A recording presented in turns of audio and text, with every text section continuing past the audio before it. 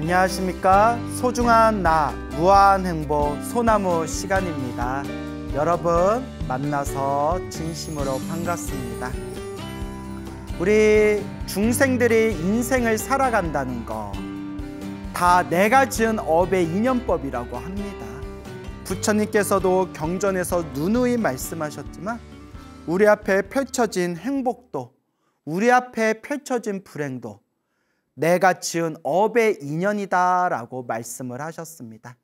그래서 경전에 보면 항상 부처님께서 늘 우리 불자들에게 복을 지어야 된다, 선업을 쌓아야 된다, 공덕을 닦아야 된다. 늘 한결같이 말씀을 하셨습니다. 그래서 부처님께서도 모든 중생을 구제하기 위해서 수없는 억겁의 윤회의 세월 동안 태어나고 죽고 태어나고 죽음을 반복하면서 육바라밀을 완벽하게 완성하셨다고 합니다. 스스로 지혜와 복덕을 완벽하게 갖추시고 당신께서 스스로 갖춘 그 지혜와 복덕의 힘으로 널리 중생을 구제하시는 것이다. 라고 경전이나 논서에서 늘 한결같이 이야기하고 있습니다. 우리 불자들도 부처님의 걸음걸음 그 발 뒤꿈치라도 우리가 그 부처님의 뒷걸음을 조금이라도 따라가는 마음으로 조금이라도 복을 지으려고 노력하고 선업을 쌓으려고 노력하고 공덕을 닦으려고 노력해야 됩니다.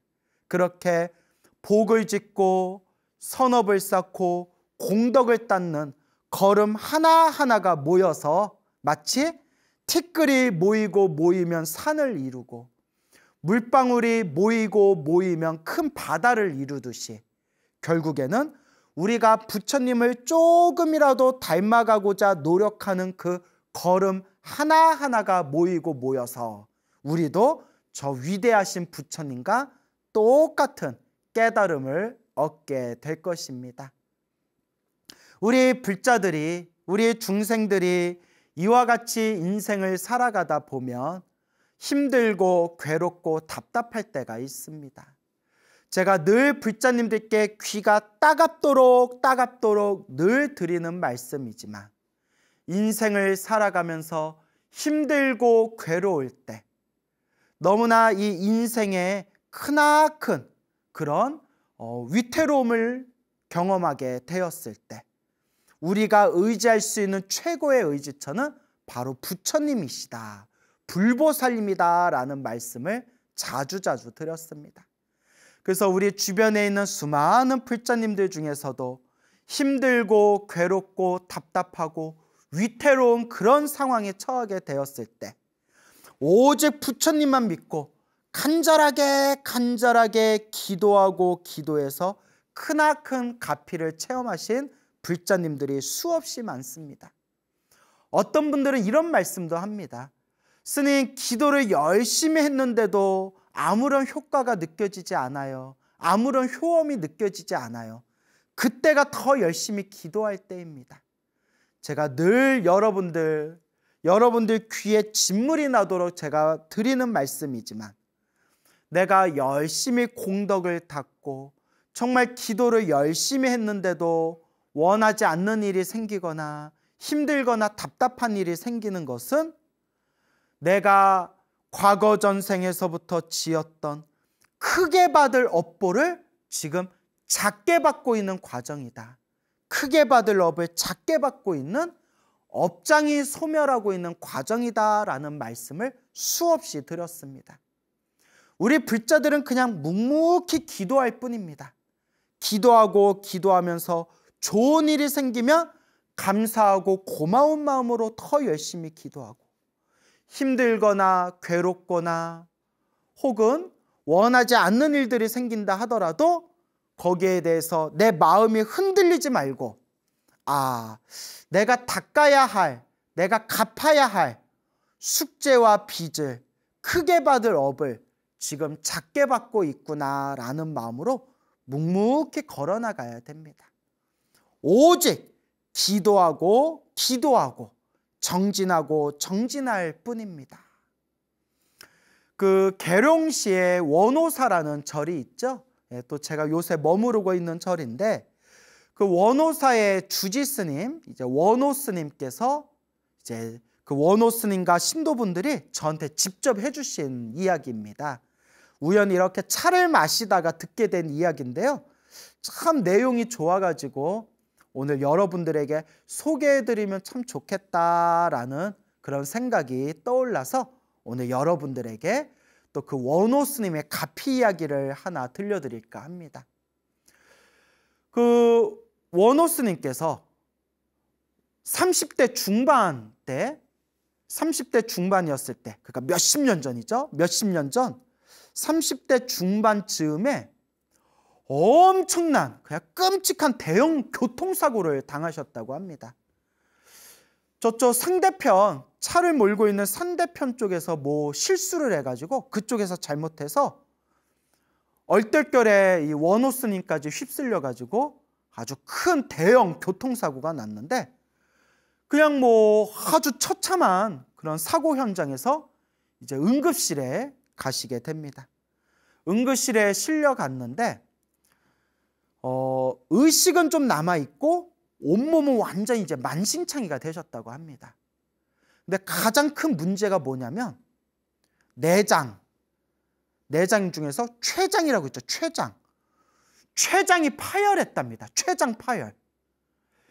모르겠습니다. 요새는 현대 의료 기술이 굉장히 발달했겠지만 예전에 몇십 년 전에 어 뭐 거의 뭐 40년 년 전쯤 일이죠. 거의 30년이 훌쩍 넘은 거의 40년 전쯤에 그렇게 췌장이 이제 파열해 버리시니까 그 당시 의료 기술이 지금에 비하면 굉장히 열악한 상황이었다고 합니다.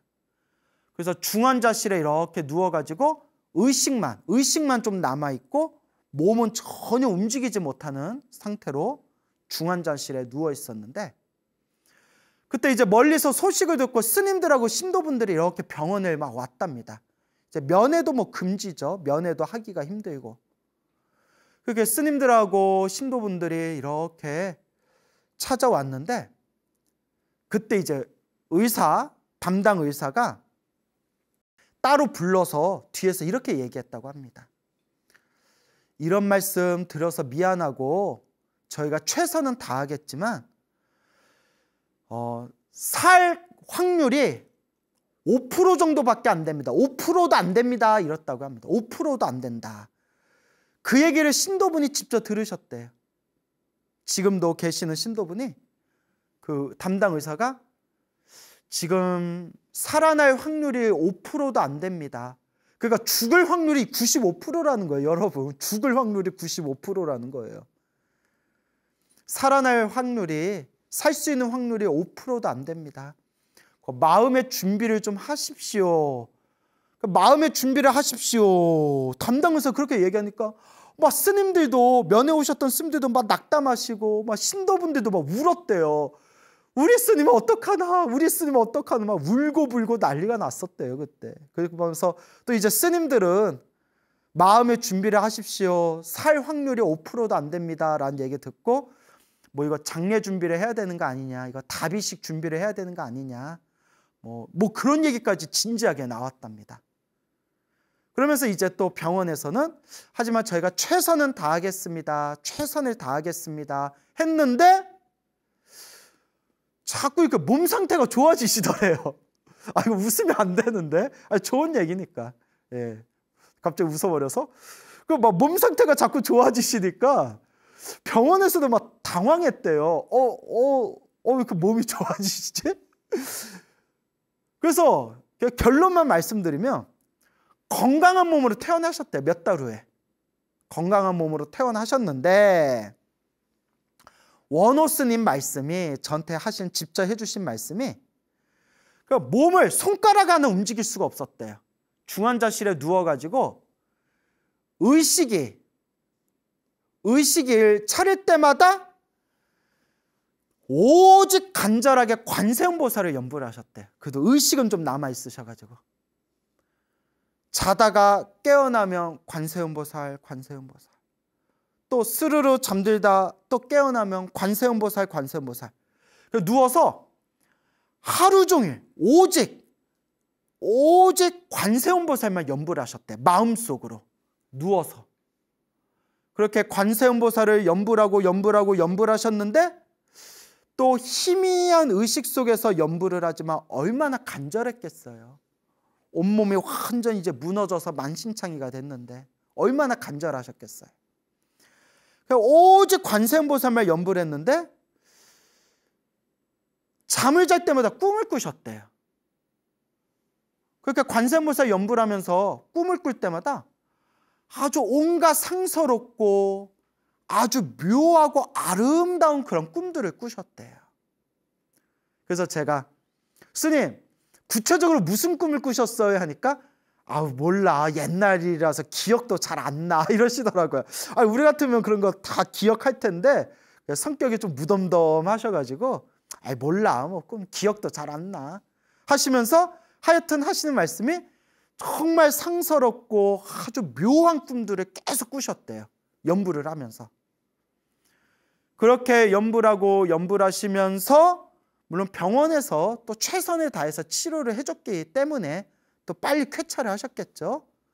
그렇게 병원에서도 깜짝 놀랄 정도로 정말 빠르게 회복을 하시더니 결국은 몇 달 후에 건강한 몸으로 퇴원을 하셨는데 그때 병원에서도 살아날 확률이 5%도 안 됩니다. 췌장이 파열된 게 그게 어지간해서는 그게 쉽게 치료하기가 좀 쉬운 게 아닌가 봐요. 지금은 모르겠어요. 근데 몇십 년 전에 그 췌장이 완전히 파열해가지고 그런 상황에서 마음의 준비를 하고 계십시오라고 해서 그때 문중 스님들도 이렇게 장례 준비, 장례식 답이 준비를 해야 되는 거 아니냐 이렇게 그런 어, 회의를 하고 있는 그런 상황까지 갔는데 결국 몇 달 후에 건강하게 퇴원을 하셨어요.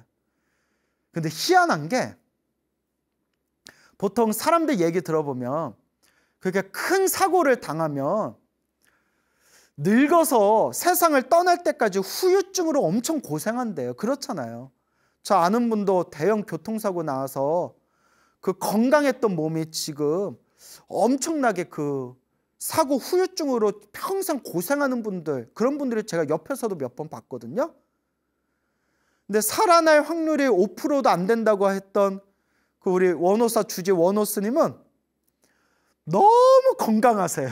너무 건강하세요. 네? 엄청 건강하세요. 스님, 스님 후유증이 없으십니까? 이러니까 글쎄, 딴 사람들이 있다는데 나는 그런 것도 없어. 이러시더라고요.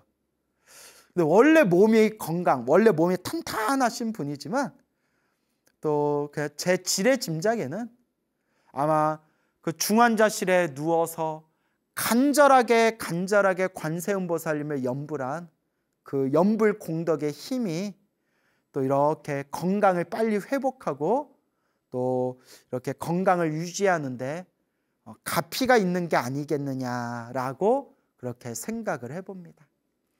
그래서 저도 불자님들께 늘 드리는 이야기가 있어요. 아프면 묻지도 말고 따지지도 말고 병원부터 가라. 아, 요새 병원 얼마나 좋아요. 병원 가는 게 최고예요. 제가 예전에 그 코로나 걸렸었잖아요. 코로나 오래전에. 그때 오미크론, 오미크론 걸렸었는데 오미크론 걸렸을 때 크게 아프지는 않았어요. 막 근육통은 있었지만 근데 이제 좀 목이 따갑고 아 자꾸 기침이 나오더라고요. 기침. 그래서 이제 격리를 잘 하고 나서 이제 방송에 복귀를 했는데 아, 그 장기침이 계속 나오는 거예요. 어, 엄청 고생했어요. 장기침이. 장기침이 계속 나와가지고, 이제, 어, 코로나는 이제 다 완전히 회복을 했는데, 그 후유증, 저 아시는 스님들도 후유증 때문에 고생하는 분들이 있어요. 그 걸리고 나서 체력이 뚝 떨어져서 회복이 안 되신대요. 체력 회복이 안 되신다 그러고, 뭐 여러 가지 후유증으로 고생하시는 분들 얘기를 들었는데, 저는 계속 장기침이 나오더라고요. 거의 한 달 가까이 됐어요. 계속 장기침이 나와서 진짜 좋은 거 많이 먹었어요. 막 도라지청, 도라지 엑기스, 어, 뭐, 뭐, 프로폴리스, 뭐, 꿀, 뭐, 어, 용각산. 하여튼 뭐 좋다는 건 다 먹었어요. 막, 막 먹고. 어, 근데도 장기침이 계속 나더라고요. 그래서 하다 하다 안 되다가 저 우리 어, 요 방송국에서도 불교 TV에서도 어, 그 장기침 후유증이 있는 분이 어, 쌤 병원 병원 약을 먹으니까 똑 떨어졌습니다 라는 얘기를 듣고 저는 그냥 이제 아픈 데가 없고 그냥 후유증으로 장기침만 나오니까 아, 굳이 병원 갈 필요 없겠지 하다가 도저히 안 돼서 어, 막 방송 진행하는데 도저히 이거 강의하는데 자꾸 기침이 나와서 안 되겠더라고요. 그래서 이제 병원에 갔어요. 예? 이비인후과죠. 이비인후과를 가니까 이렇게 증세를 얘기했더니 의사 선생님이 어, 아유 요새 그런 분들 많이 와요 하면서 세게 지어 드릴게요. 세게 지어 드릴게요라고 미리 말씀하시더라고요. 예, 세게 지어 드릴게요. 예, 이거 드시고 어, 한번더 오셔야 될 수도 있어요. 하면서 뭐 이렇게 세게 지어 드릴게요 하고 이렇게 처방을 해 주셔 가지고 이제 약국 가서 딱 받아왔거든요. 받아서 이렇게 와, 한 달 동안 고생한 장기침이 2, 3일 먹고 뚝 떨어지더라고요. 2, 3일 먹고. 그때 무슨 생각하냐면, 아우, 진작 병원 갈 걸. 그러면서 제가 느낀 게, 아프면 일단 병원부터 가는 게 좋다. 라고 제가 늘 불자님들께 자주 말씀을 드려요. 예전에도 몸이 아프면 병원부터 가라 했지만, 이번에 다시 한번 느꼈어요. 그 뭐, 몸에 좋다는 거 많이 먹어도 장기침이 안 떨어졌는데, 근데 아마 약이 좀 셌을 거예요. 뭐 항생제랑 뭐 이런 게 좀 셌을 거예요. 의사 선생님이 자기 말로 좀 세게 지어 드릴게요 라고 하셨으니까.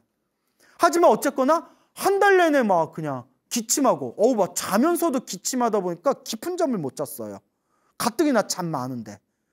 그래 가지고 한 2, 3일 먹고 뚝 떨어졌어요. 장기침이. 그래서 다시 한번 느꼈죠. 아프면 병원부터 가라. 그래서 아, 쓸데없는 이야기가 길어졌네요. 예. 그래서 여러분, 아프면 병원에 가세요. 아프면 병원에 가시되 병원에 오랫동안 다녔는데도 이 병세가 호전이 안 됐을 때는 그때 이제 제가 드리는 말씀이 아, 과거 전생에 내 업병인가 보다 생각하시고 간절하게 기도해 봐라. 간절하게 그렇게 기도하면 반드시 은은한 가피가 있을 것이다 라는 말씀을 제가 우리 불자님들에게 자주 드립니다. 그러니까 아프면 병원에 가시고 또 병원에 다니면서 간절하게 부처님께 기도도 하고 결국 내 업은 내가 닦아야 된다라는 것을 명심하시길 바랍니다. 또 오늘 굉장히 또 신비한 이야기를 하나 해드릴게요. 금방 말씀드린 그 원호사 주지 원호 스님의 도반대는 아주 절친한 친한 도반대시는 노스님의 실제 체험담 이야기입니다. 이것도 차 마시다가 이야기 들었는데 어, 너무 재밌더라고요. 그 원호 스님 절친하신 노 스님의 이야기인데 이 스님의 법명은 제가 어, 어, 이야기를 하지 않겠습니다. 개인 프라이버시가 있으시니까 어, 하여튼 이 스님의 이야기입니다. 이 스님께서 젊은 나이, 어린 나이에 일찍 출가를 하셨대요. 어린 나이에 일찍 출가를 하셨는데, 그러니까 지금 70이 넘으셨거든요. 지금 70이 훌쩍 넘으신 분이니까 몇십 년 전 얘기죠. 몇십 년 전. 거의 50년 전 얘기입니다. 50년 전. 50년이면 몇 년도야? 1970년대인가요? 그렇게 일찍 출가를 하셨는데 그러니까 승려 생활을 하시다가 군대 영장이 나왔대요. 영장이 나왔는데 아, 대한민국 국민이면 당연히 군대 가야죠. 저도 저도 머리 깎고 어, 출가 생활하다가 저도 머리 깎고 저도 군대 갔거든요. 음, 군대 갔다 왔는데 근데 그때는 수십 년 전에는 군 생활이 굉장히 험악했대요. 아주 군 생활도 험악했고 또 어, 군대 갔던 스님들이 환속하는 경우가 또 많았대요. 전부 다는 아니지만 또 군대 갔던 스님들이 환속하는 경우도 있었고 그리고 또 여 스님께서 내가 부처님 법을 공부하고 있는 수행하고 있는 수행자인데 내가 어떻게 군대에 가서 총을 들고 사람 죽이는 기술을 배울 수 있겠냐. 뭐 그런 여러 가지 생각이 들더래요. 그래서 군대에 안 가고 뻗, 뻗팅기고 있었대요. 요새 그러면 큰일 납니다, 여러분. 근데 이제 이게 한 50년 전 얘기예요. 옛날 얘기예요. 군대에 안 가고 이렇게 버티고 있는데 그때 통도사에 계셨대요. 통도사. 통도사, 양산 통도사에 계실 때 그 병무청에서 사람들이 잡으러 왔대요. 잡으러 왔대요. 그래서 놀래가지고 도망갔대요. 그래서 오오 하면서 막 후다닥 도망을 갔는데 짐도 못 챙기고 뭐 수중에 돈도 별로 없고 뭐뭐 뭐 아무것도 없이 이렇게 도망을 나오셨는데 뭐 이게 뭐 집도 없고 절도 없고 돌아갈 데도 없고 이게 난감하시더래요. 그래가지고 걸어서 걸어서 예? 사람들 눈에 피해가지고 이제 쫓기는 신세니까 저는 뭐 그렇게까지 할 필요 있었을까 싶은데 뭐 어쨌든 옛날 얘기입니다. 걸어서 걸어서 여러분 한번 상상해 보세요. 나는 지도를 봤는데도 난 답이 안 나오더라고요. 양상 통도사에서 산을 타가지고 대구 팔공산까지 산을 타서 건너오셨대요. 여러분 상상이 가세요? 양산 통도사에서 산을 타가지고 중간중간 민가가 있으면 옛날에는 뭐 승복 입고 있고 옛날 사람들은 인심이 또 후했잖아요. 지나가다 이렇게 밥 몇 숟가락 얻어먹고 지나가다 개울가에 물 마시면서 뭐 덜덜덜덜 떨면서 뭐 몇 날 며칠이 걸렸는지 모르겠는데 양상 통도사에서 산을 타고 걸어서 걸어서 걸어서 대구에 있는 팔공산까지로 왔대요. 걸어가지고. 야, 나그 길을 찾아간 게 더 대단한데요? 그 어떻게 찾아가지? 길을? 그래서 그쪽에 이제 좀 예전에 인연 있던 작은 암자가 있었대요. 그때 대구에 달성이라고 있죠. 달성. 대구 달성 쪽에 무슨 작은 암자가 있어가지고 그 암자에 잠깐 머무르고 있었대요. 그 스님이 그 암자에 딱 가니까 그 암자에 계시던 스님이 깜짝 놀래서 웬 스님, 스님이 막 거짓골이 돼가지고 그냥 피골이 상접해서 정말 그냥 뼈에 살가죽만 남아가지고 제대로 끼니도 못 때우고 그 몇 날 며칠을 산에 타서 걸어왔으니 야 이것도 보통 분이 아니에요. 그래가지고 이제 그 지친 몸을 이끼고 암자에 왔는데 마음 한 구석이 불안하니까 내가 이걸 어떻게 해야 되나 그냥 어, 군대를 가는 게 맞을까? 내가 이대로 이렇게 중노릇을 할 수는 있을까? 내가 지금 뭘 어떻게 해야 될까 하다가 부처님만 믿고 기도해 보자 해 가지고 그날부터 삼천배를 하셨대요. 야, 뭐 제가 말하면서도 참 대단하고 신기하네요, 진짜. 그런 체력이 온몸에 그냥 뼈에 살가죽만 남은 몸으로 제대로 쉬지도 않고 그래도 뭐 며칠은 쉬셨겠죠. 며칠 좀 쉬시다가 매일매일 하루도 빠지지 않고 매일매일 삼천배를 하셨대요. 그 암자에서. 그 암자에서 매일매일 그냥 오로지 부처님만 바라보면서 그렇게 삼천배를 하면서 몇 달이 지났는데 여러분 그 어른 스님들이 하신 말씀이 옛날엔 진짜 절에서 먹고 살 게 없었대요. 정말 가난했대요. 그러면서 하신 말씀이 88 올림픽 끝나고 나면서부터 절집에 조금 절집이 조금 풍족해졌대요. 먹을 것도 많이 들어오고 많이 들어오고. 그러니까 저 처음에 머리 깎고 출가한다고 했을 때 우리 외할머니가 엄청 우셨어요.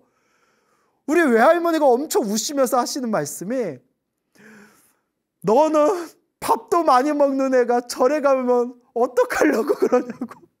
우리 외할머니가 너 밥도 많이 먹는 애가 절에 가면 뭐 먹을 게 있다고? 절에서 밥 많이 먹다가 구박 받으면 어떡하냐고? 그렇게 우시는 거예요 외할머니가. 예 그리고 이제 해인사로 출가를 했는데 아 해인사에서 잘 먹었어요. 떡도 많고 과일도 많고. 그리고 이상 그렇게 음? 어, 초코파이가 막 땡기더라고요. 막단게 땡기더라고요 단게 항상 피곤해서 그랬는지. 하여튼 옛날 얘기인데. 그러니까 여스님이 그 어, 옛날 대구 달성이면 옛날 완전 시골이잖아요. 50년 전에. 거기에 막 제대로 공약물도 제대로 없고 가난했던 그 시절에 밥도 제대로 못 드시고 매일 삼천배를 하셨으니 그 온몸이 그냥 피쩍 메마르셨대요.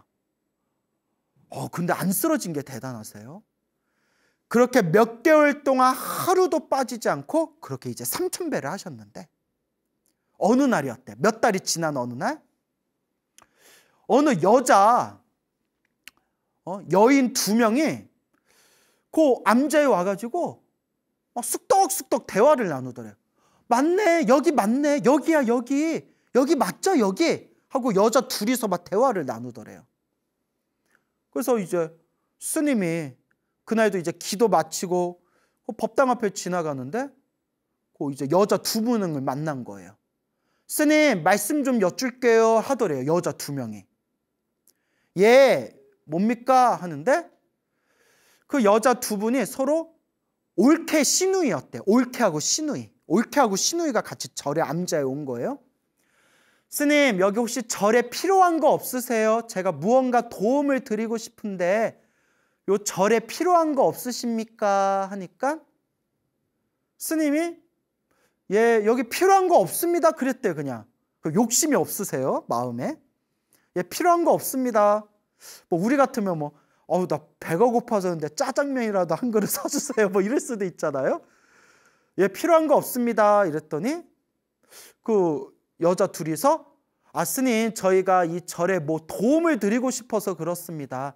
필요한 거 없으십니까? 자꾸 그래서 그냥 딱 생각난 게 스님이 그 법당이 시골절이고 오래돼 가지고 법당 군데 군데가 조금 파손된 데가 있었대. 이렇게 좀 낡고 무너진 데가 좀 여러 군데 있어서 정 도와주고 싶으면 우리 법당, 법당 좀 불사 좀 어, 깨끗하게 다시 한번 좀 해주십시오. 여기 낡고 많이 파손이 됐는데 법당 불사를 좀 해주십시오 하니까 그 여자 둘이서 이렇게 막 둘러보더니 예, 스님 이거 저희가 해드리겠습니다. 저희가 해드리겠습니다. 근데 스님 개인적으로 다른 거 혹시 필요한 거 없으세요? 자꾸 그러더래요.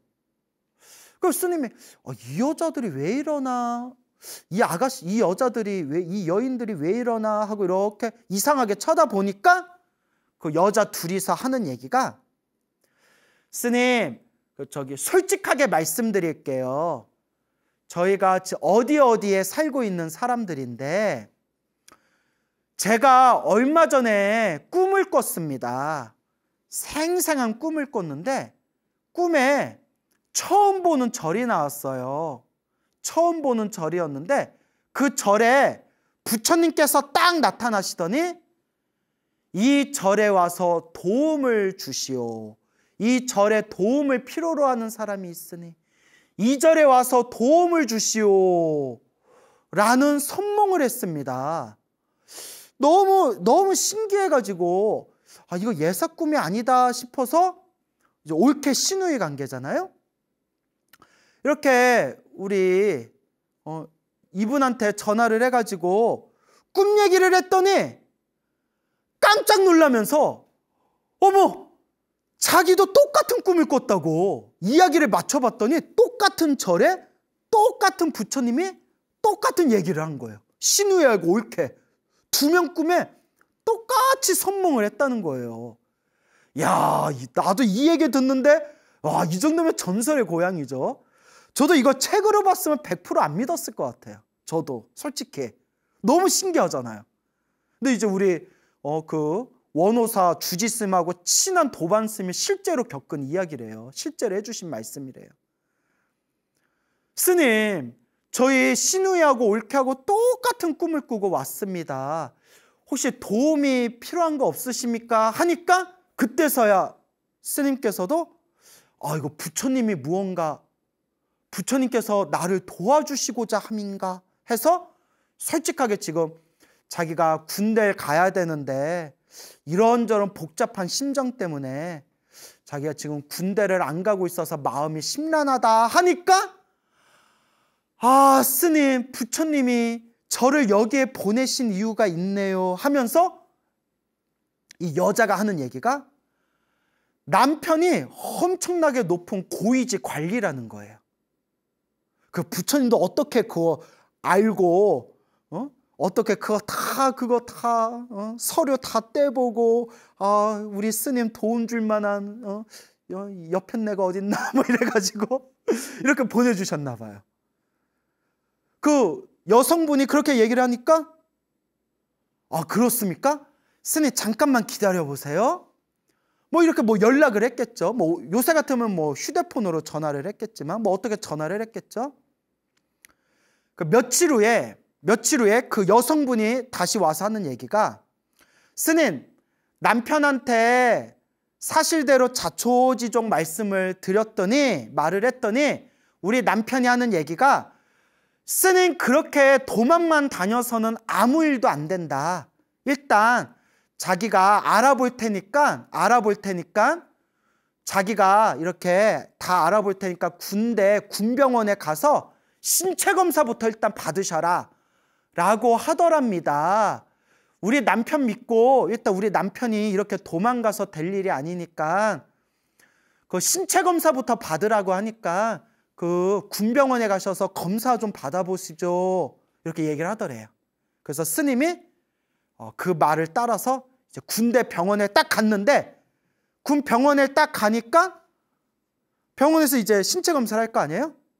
그러니까 이제 자초지종 빼고 결론만 말씀드리면 검사 결과 너무 마르고 영양 결핍에 몸 상태가 너무 안 좋아서 그러니까 양산 통도사에서 대구 팔공산까지 걸어서 몇 날 며칠 제대로 먹지도 못하고 걸어와서 뭐 이거 뭐 빨치산도 아니고 그리고 불안한 마음에 몇 달 동안 제대로 먹지도 못하고 매일매일 하루도 빠지지 않고 삼천배를 해버렸잖아요. 너무 몸이 말라 있고 어, 건강이 매우 안 좋고 그리고 영양 결핍 상태이기 때문에 군대에 어, 가기에 무리가 있을 것 같다라는 그런 소견서에 의해서 군대 면제를 받으셨대요. 결국은 라는 이야기를 실제로 들었습니다. 스님께서 마음으로 아 정말 진심으로 부처님 감사합니다. 부처님 가피입니다. 라고 그 감사한 마음을 가슴에 품고 그 뒤로 정말 열심히 공부를 하셨대요. 특히 뭐 한학, 한시 그런 시 같은 거에 굉장히 밝으시고 그 뒤에도 젊은 시절 열심히 전법하고 포교 활동 하시다가 지금은 지금은 몸이 좀 많이 건강이 쇠약해지셔서 저기 산 속에 있는 어디 암자에서 이렇게 좀 편안히 응거하고 계신다고 합니다. 그래서 가끔씩 그 원호사 주지스하고 가끔씩 만나신대요. 그렇게 그 얘기를 이제 제가 듣고 아 진짜 신기하다.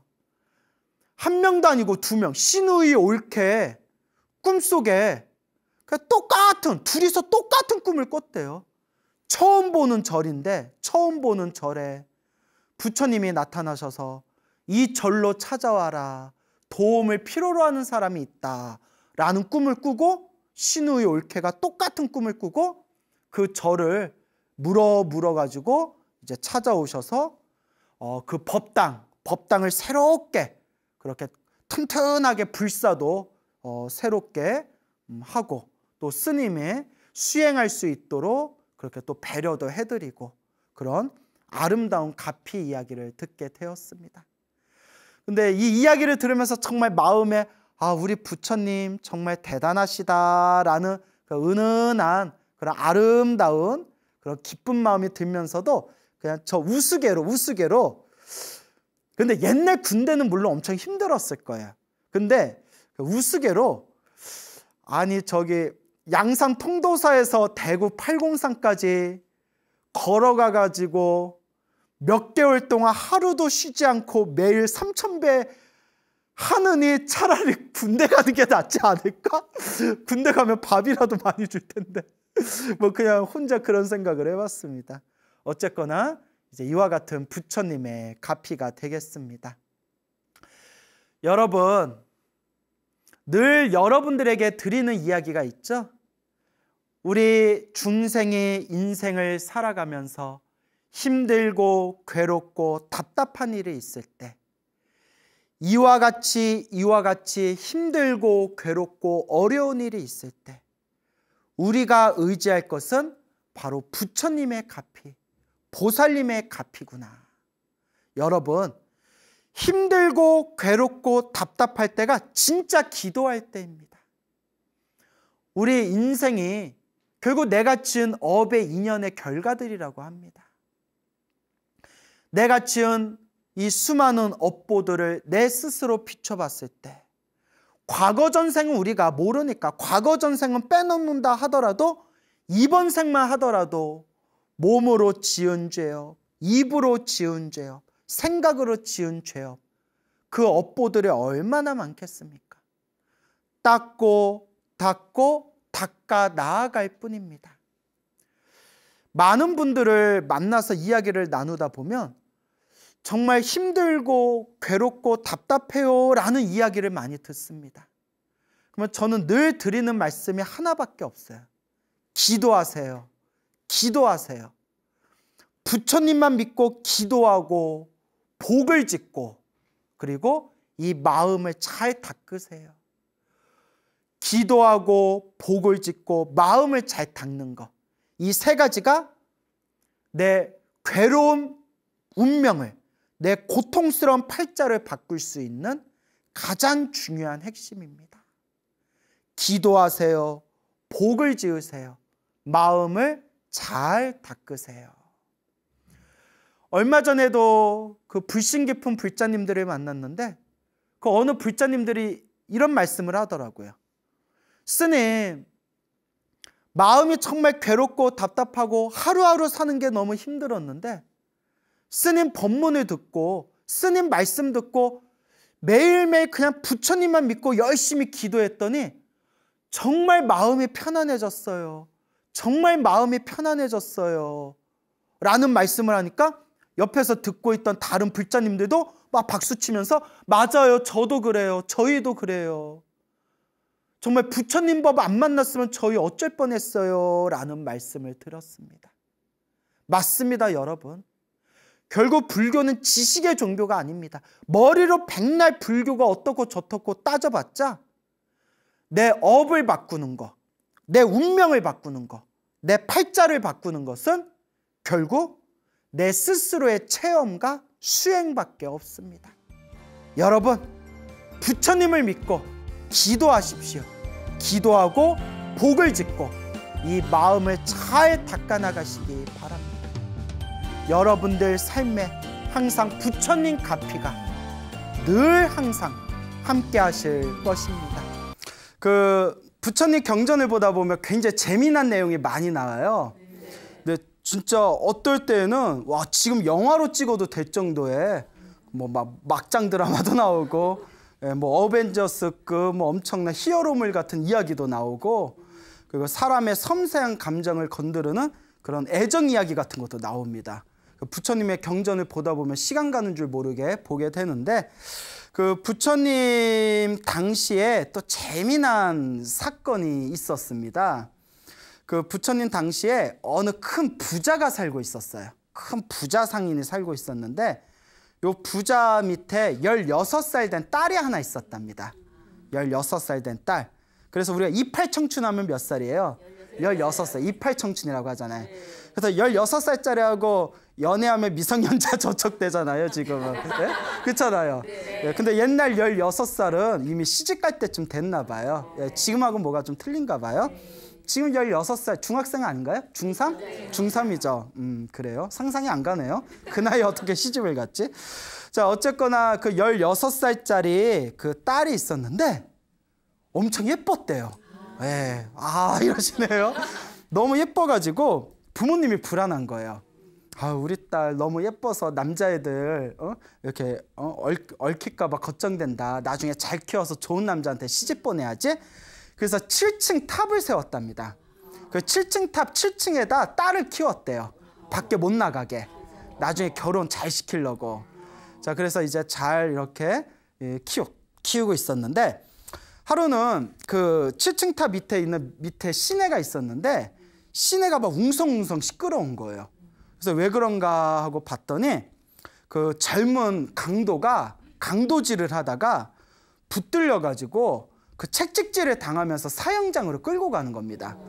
그러니까 이제 사람들이 놀래 가지고 막 그 구경하고 있는데 밖에서 막 웅성웅성 거리니까 그 7층 탑에서 살고 있는 소녀가 어 무슨 일이지? 하고 7층 탑에서 이렇게 봤대요. 왜 그러지? 어머 쟤는 왜 채찍에 맞고 있지? 사람들이 왜 돌을 던지지? 뭐지? 하고 이거 봤는데 어머 잘생겼다. 보더니 여자애가 어머 잘생겼다. 어 어떡하지? 애가 약간 나쁜 남자 좋아하는 스타일인가 봐요. 그 책에서 봤는데 실제로 여자들 중에서 나쁜 남자 스타일을 좋아하는 성향이 있대요. 예, 있습니까? 아, 사서 고생이야, 사서 고생. 예? 옛날 어른들 틀린 게 하나 없어요. 남자는 자기 좋아해주고 착한 남자 예, 만나야 된다. 그렇죠. 근데 희한하게 나쁜 남자 좋아하는 스타일들이 있어요. 그래가지고 왜 찔려요? 예, 예? 자, 그러니까 어머, 제, 저 남자 잘생겼다. 강도 보고 사형 집행 끌려가는 남자 보고 그리고 상사병이 걸려버립니다. 그 자리에서 엎어져 버려요. 그 어머니가 걱정이 돼서 밥도 안 먹고 막 울고 있어. 너 왜 그러니? 내가 왜 그러니? 엄마 엄마 아까 그 어? 사람들한테 책찍질 맞으면서 끌려나가는 남자애를 봤는데 나 사랑에 빠졌다고 나 그 사람이랑 결혼시켜줘 이러는 거예요. 엄마 속이 얼마나 뒤집어지겠어요. 어머 야 너 다시 생각해봐라. 우리 가문이 어떤 가문인데 세상에 반은 남자야. 조금만 너 세상을 조금만 더 경험해 보면 좋은 남자 얼마든지 만날 수 있어. 정신 차려 얘. 근데 정신 차려요 못 차려요? 못 차리죠. 음. 왜못 차릴까요? 네? 상사병. 그러니까 왜 그 남자한테만 상사병이 걸리는 걸까요? 이게 불교적 이게 중요한 거예요. 왜 그 남자한테 상사병이 걸리냐고. 그렇죠. 업보예요. 여러분이 만나는 모든 인연이 업보입니다. 좋은 인연 있죠? 나쁜 인연도 있죠? 다 업보예요. 남편하고 결혼할 때 정말 사랑해서 결혼했죠? 네. 여기까지. 제가 엊그저께 스님한테 여쭤봤어요. 뭐 이렇게 예, 이런저런 얘기하다가 스님 궁금한 게 있어서 근데 스님이 저보다 이제 인생 연륜이 많은 분이시거든요. 왜 사랑해서 결혼했는데 왜 이혼을 왜 하는 거야? 제 나이 40이 다 돼가지고 그게 궁금하더라고요, 갑자기. 그 스님이 한숨을 푹 내쉬면서 스님은 몰라. 스님은 너무 일찍 출가해서 아직 몰라 이러더라고요. 아, 그러니까 사랑해서 결혼했는데 예, 왜 이혼을 할까? 업이에요. 업연이에요. 만나야 할 인연을 만나고 헤어질 인연이 되면 헤어지고 계속 할 인연이면 계속 가고 자 이걸 어떻게 인력으로 어떻게 하겠습니까? 그러니까 다 내 앞에 만나게 된 좋은 인연도 내 앞에 만나게 된 좋지 못한 인연도 다 내가 지은 업보다 생각하고 우리가 닦아 나가야겠죠. 근데 요 지지배가 하필이면 요 강도한테 그것도 사형 선고 당한 강도한테 푹 빠져버린 거예요. 이것도 전생의 어변이겠죠. 엄마한테 막 졸라대는 거예요. 아 싫어 싫어 결혼시켜줘 결혼시켜줘 나확 죽어버릴 거야 막 이러는 거예요. 부모 이기는 자식 있어요 없어요?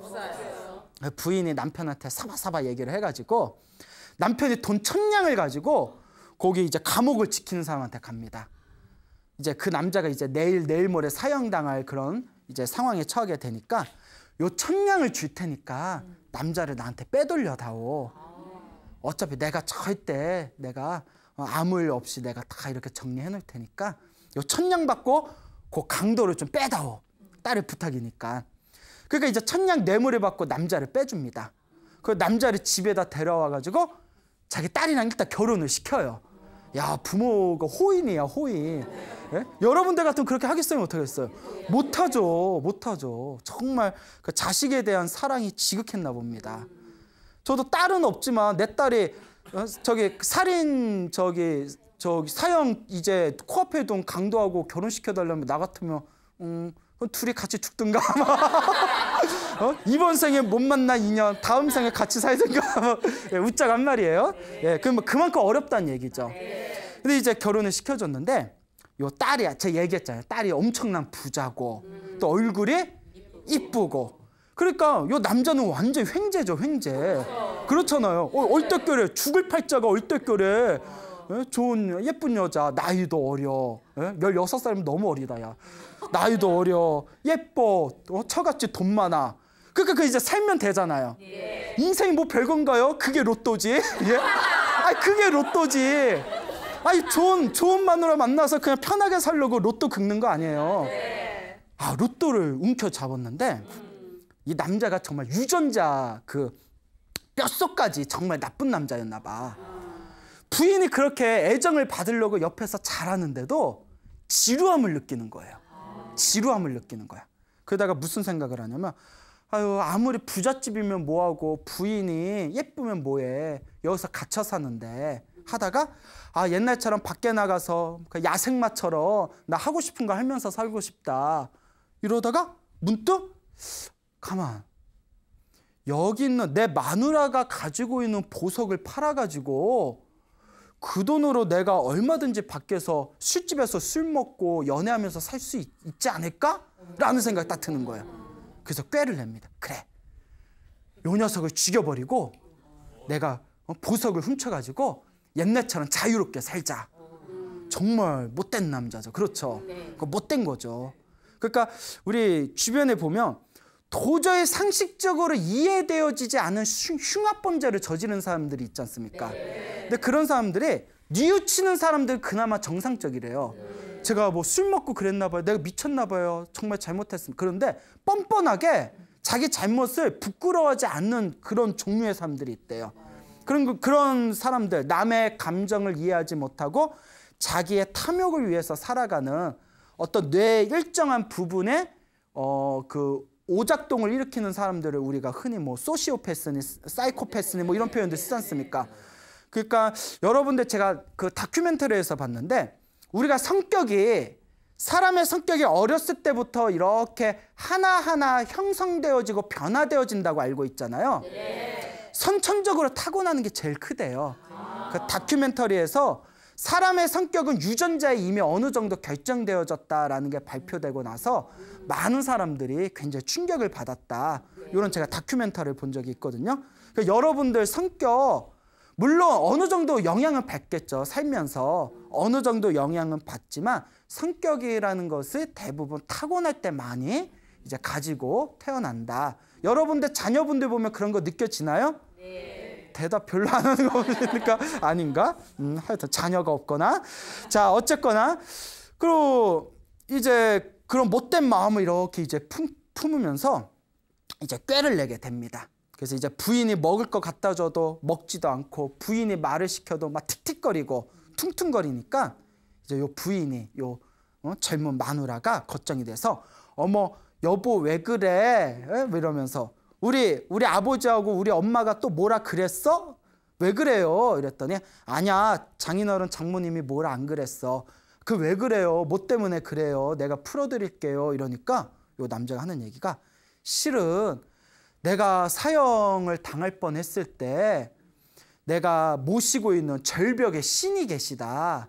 그 절벽의 신령님한테 저를 살려주시면 제가 재물을 잘 차려가지고 절벽에 올라가서 제가 제사를 잘 올리겠습니다. 부디 저 좀 살려주십시오라고 간절하게 기도를 했는데 절벽에 계시는 신령님이 내 소원을 들어줘서 사형에서 자기가 빠져나올 수 있었고 이렇게 예쁘고 귀한 마누라를 얻었지 않았냐. 근데 내 마음에 내가 어, 이, 내가 이 사형장에서 벗어나게 되면 신령님에게 제사 올린다고 했는데 제사를 못 올리고 있어서 내 가슴이 답답해서 그렇다. 내 빚을 지고 있는 느낌이다 이러는 거예요. 아, 말도 잘 지어내. 그러니까 어, 머리 좋죠. 머리 좋죠. 그러니까 이제 그런 얘기를 듣고 또 마누라가 그 부인이 신령님한테 또 제사 지내서 너같이 예쁜 마누라도 얻지 않았냐니까 또 기분이 좋아. 그렇잖아요. 그 기분이 좋아서 아이 뭘 그거 갖고 그래요. 내가 다 준비할게 같이 가서 제사 올려요. 이러는 거예요. 어, 그, 그 같이 갈래? 뭐 준비하면 돼요? 해서 이제 남편이 부탁한 걸 싹 준비를 한 뒤에 꽃하고 우유죽하고 딱 준비를 한 뒤에 근데 남편이 이러는 거예요. 이왕 신령님한테 제사하러 가는데 잘 보여야 되지 않냐? 네가 가지고 있는 제일 비싸고 화려한 악세사리를 차고 가자. 그래야 신령님도 예쁘게 봐줄 거 아니냐? 그 그런 거죠. 어, 어머, 맞네요 하고 이제 뭐 온몸에 그동안 이제 자기가 가지고 있던 제일 비싼 악세사리로 온몸을 치장을 한 뒤에 이제 다 출발을 하려는데 또 남편이 이러는 거예요. 우리 둘이 오붓하게 가서 제사 지내자. 장모님 장인어른은 집에서 쉬시라고 하고 우리끼리 가면 더 재밌을 것 같지 않아? 이러니까 그 그래요 이러는 거예요. 그 다 계획을 짜놓고 있는 거예요. 이제 하인들의 마차를 타고 재물을 가지고 딱 절벽에 갔는데 절벽 밑에서 부인한테 하인들 늦게 끝날 수도 있을까 하인들은 일단 돌려보내고 우리끼리 올라가 가지고 제사 지내자 해서 하인들까지 다 돌려보냅니다. 이제 남편이 재물을 가지고 이제 긴 절벽에 올라가는데 절벽에서 떨어지면 온몸에 다 부서질 정도의 높은 절벽이었어요.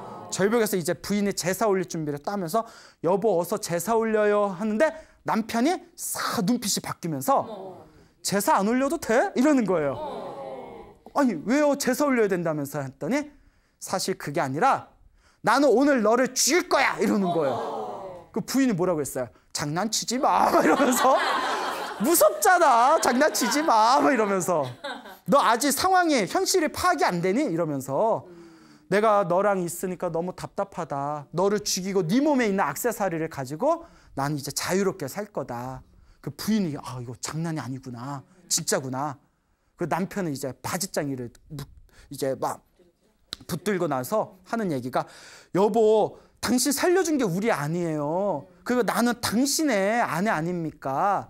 당신이 하고 싶은 대로 살으라고. 나는 당신의 아내고 하녀고 노예처럼 살아도 되니까 이러지 말라고.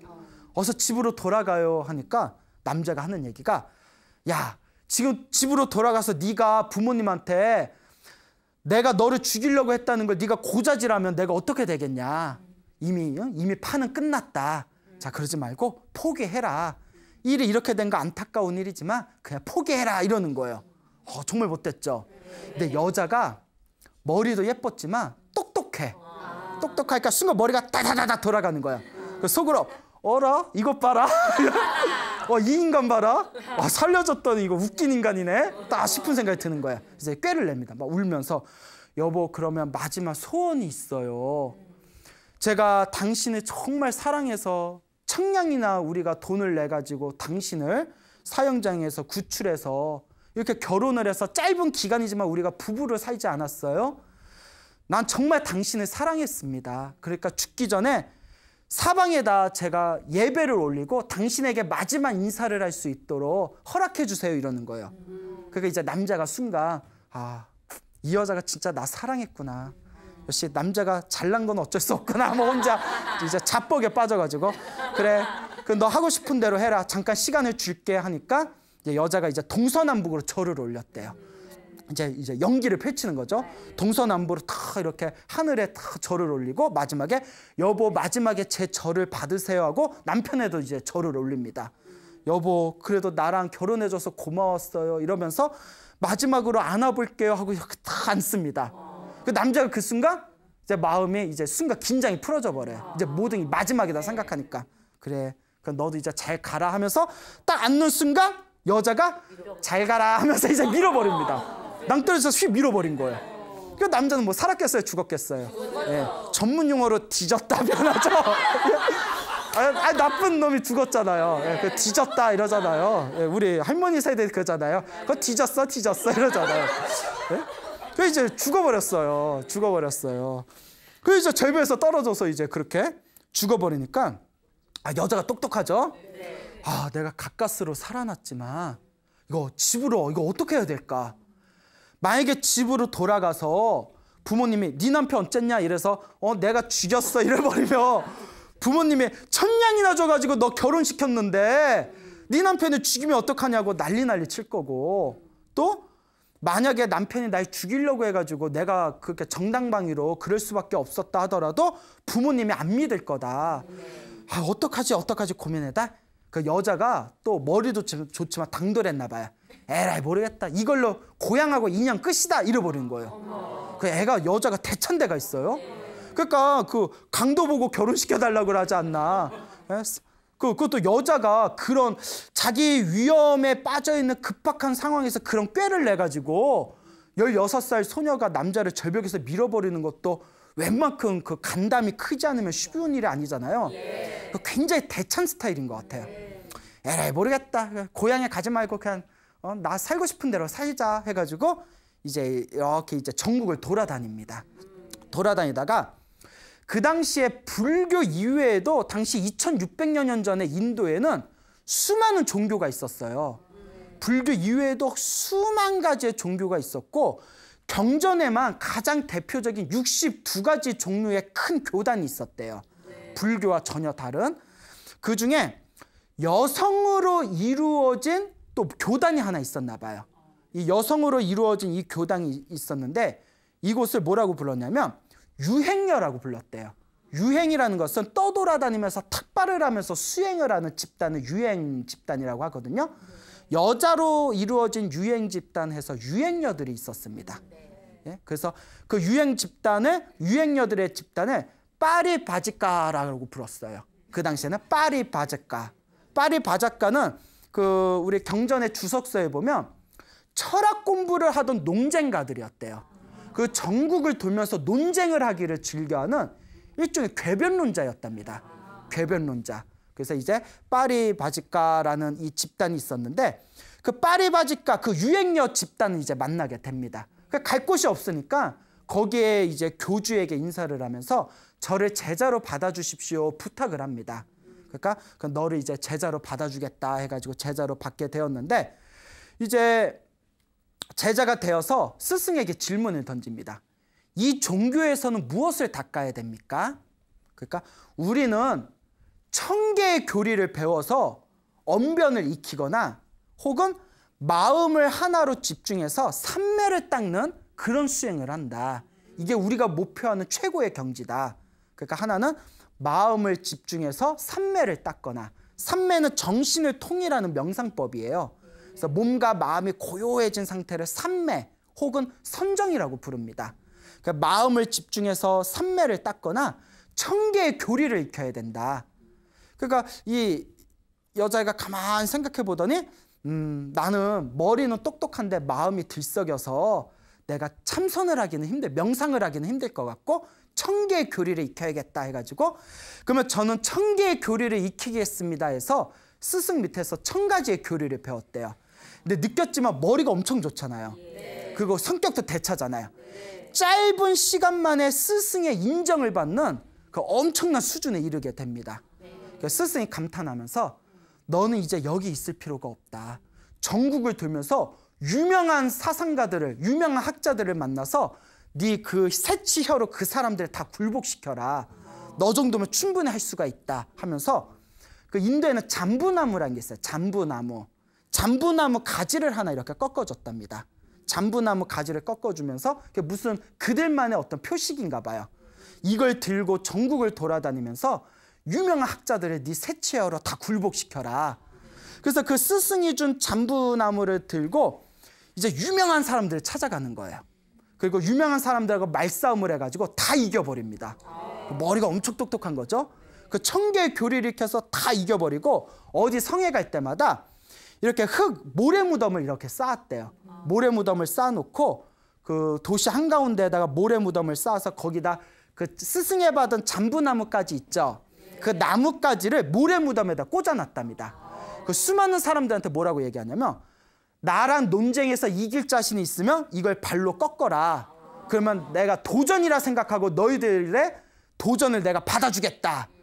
근데 뭐 워낙 이제 소문이 크게 말을 잘하고 똑똑하고 모든 유명한 사람들을 어, 혓바닥으로 다 굴복시켰다라는 소문이 퍼지니까 수많은 사람들이 다들 두려워하면서 다들 도망치기 도망쳐버리고 함부로 도전을 하지 못했다고 합니다. 거의 이제 세상에 다 휩쓸게 된 거죠. 그렇게 이제 몇 년이 지난 뒤에 이 여자가 이제 굉장히 유명해져요. 그 여자의 별명이 잠부카 파리바지카라고 부르게 됐대요. 잠부나무를 가지고 있는 유행녀란 뜻이에요. 잠부나무를 가지고 다니는 유행녀. 그래서 잠부카, 예, 잠부카, 파리바지카. 예. 아, 발음 더럽게 어렵네요. 예, 그래요?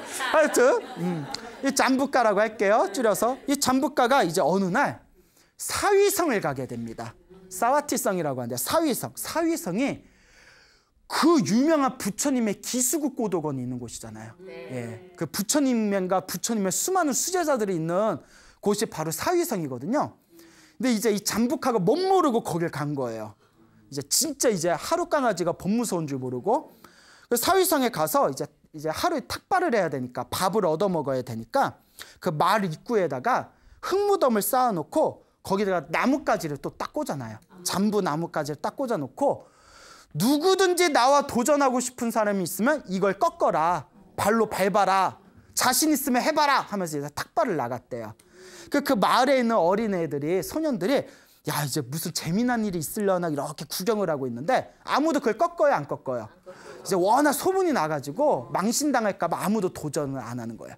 자, 그때 그 시점에 누가 나타나냐? 부처님 10대 제자 중에 지혜 제일이라고 불리우는 사리불 스님이 딱 나타납니다. 아, 어떻게 또 그때 딱 나타나요? 사리불 스님이 딱 나타나다가 그 모래 무덤에 나뭇가지 하나 딱 꽂혀져 있으니까 애들이 그거 구경하고 있으니까 소년들이요 이게 무엇인가라고 이제 질문을 던집니다. 지혜 제일 사리불 존재가 딱 이게 뭐냐 하고 질문을 던지니까 애들이 막 설명을 해줘요. 그 잠부가라는 여인네가 있는데 세상을 들면서 논쟁을 해가지고 수많은 사람들 굴복시켰답니다. 오늘 사유성에 왔는데 자신 있는 사람은 여기서 이제 요 나뭇가지 꽂아놓은 걸 발로 짓밟으면 자기가 도전을 받아주겠다 하는데 워낙 말 잘한다고 소문이 나서 아무도 도전을 안 하고 있습니다. 우리가 뭐 재미난 일이 있을까 봐 구경하고 있습니다. 하니까 사리불 스님이 음, 밟아라 이러는 거예요. 사리불 스님이 밟아라. 어 우리 자신 없어요. 이거 밟으면 도전하겠다는 의미 때 우리 망신당하기 싫어요. 아니다. 내가 그녀를 대적할 것이다. 나를 믿고 밟아라. 그 이제 밟아버렸어요 소년들이. 예까 하고 막 이제 밟았겠죠? 시원하게 밟았는데 탑발을 마치고 그녀가 왔는데 잠복하가 왔는데 애들이 막 다 밟아놓은 걸 보고 누가 도전하겠다는 거지 딱 보니까 애들이 있잖아요. 니들 미쳤냐? 이러는 거예요. 니들이 나한테 도전하겠다고? 니들 미쳤냐? 이러니까 애들이 아닙니다. 우리가 아닙니다. 부처님의 10대 제자 중에 지혜 제일이라 불리우는 사리불 스님께서 밟으라고 시키셨습니다. 그때 사리불 스님이 짠 하고 나타나세요. 내가 밟으라 했어 뭐 이러면서 그러니까 이제 요 잠부가도 어막 이제 뭐 호승심이 막 일어나는 거예요.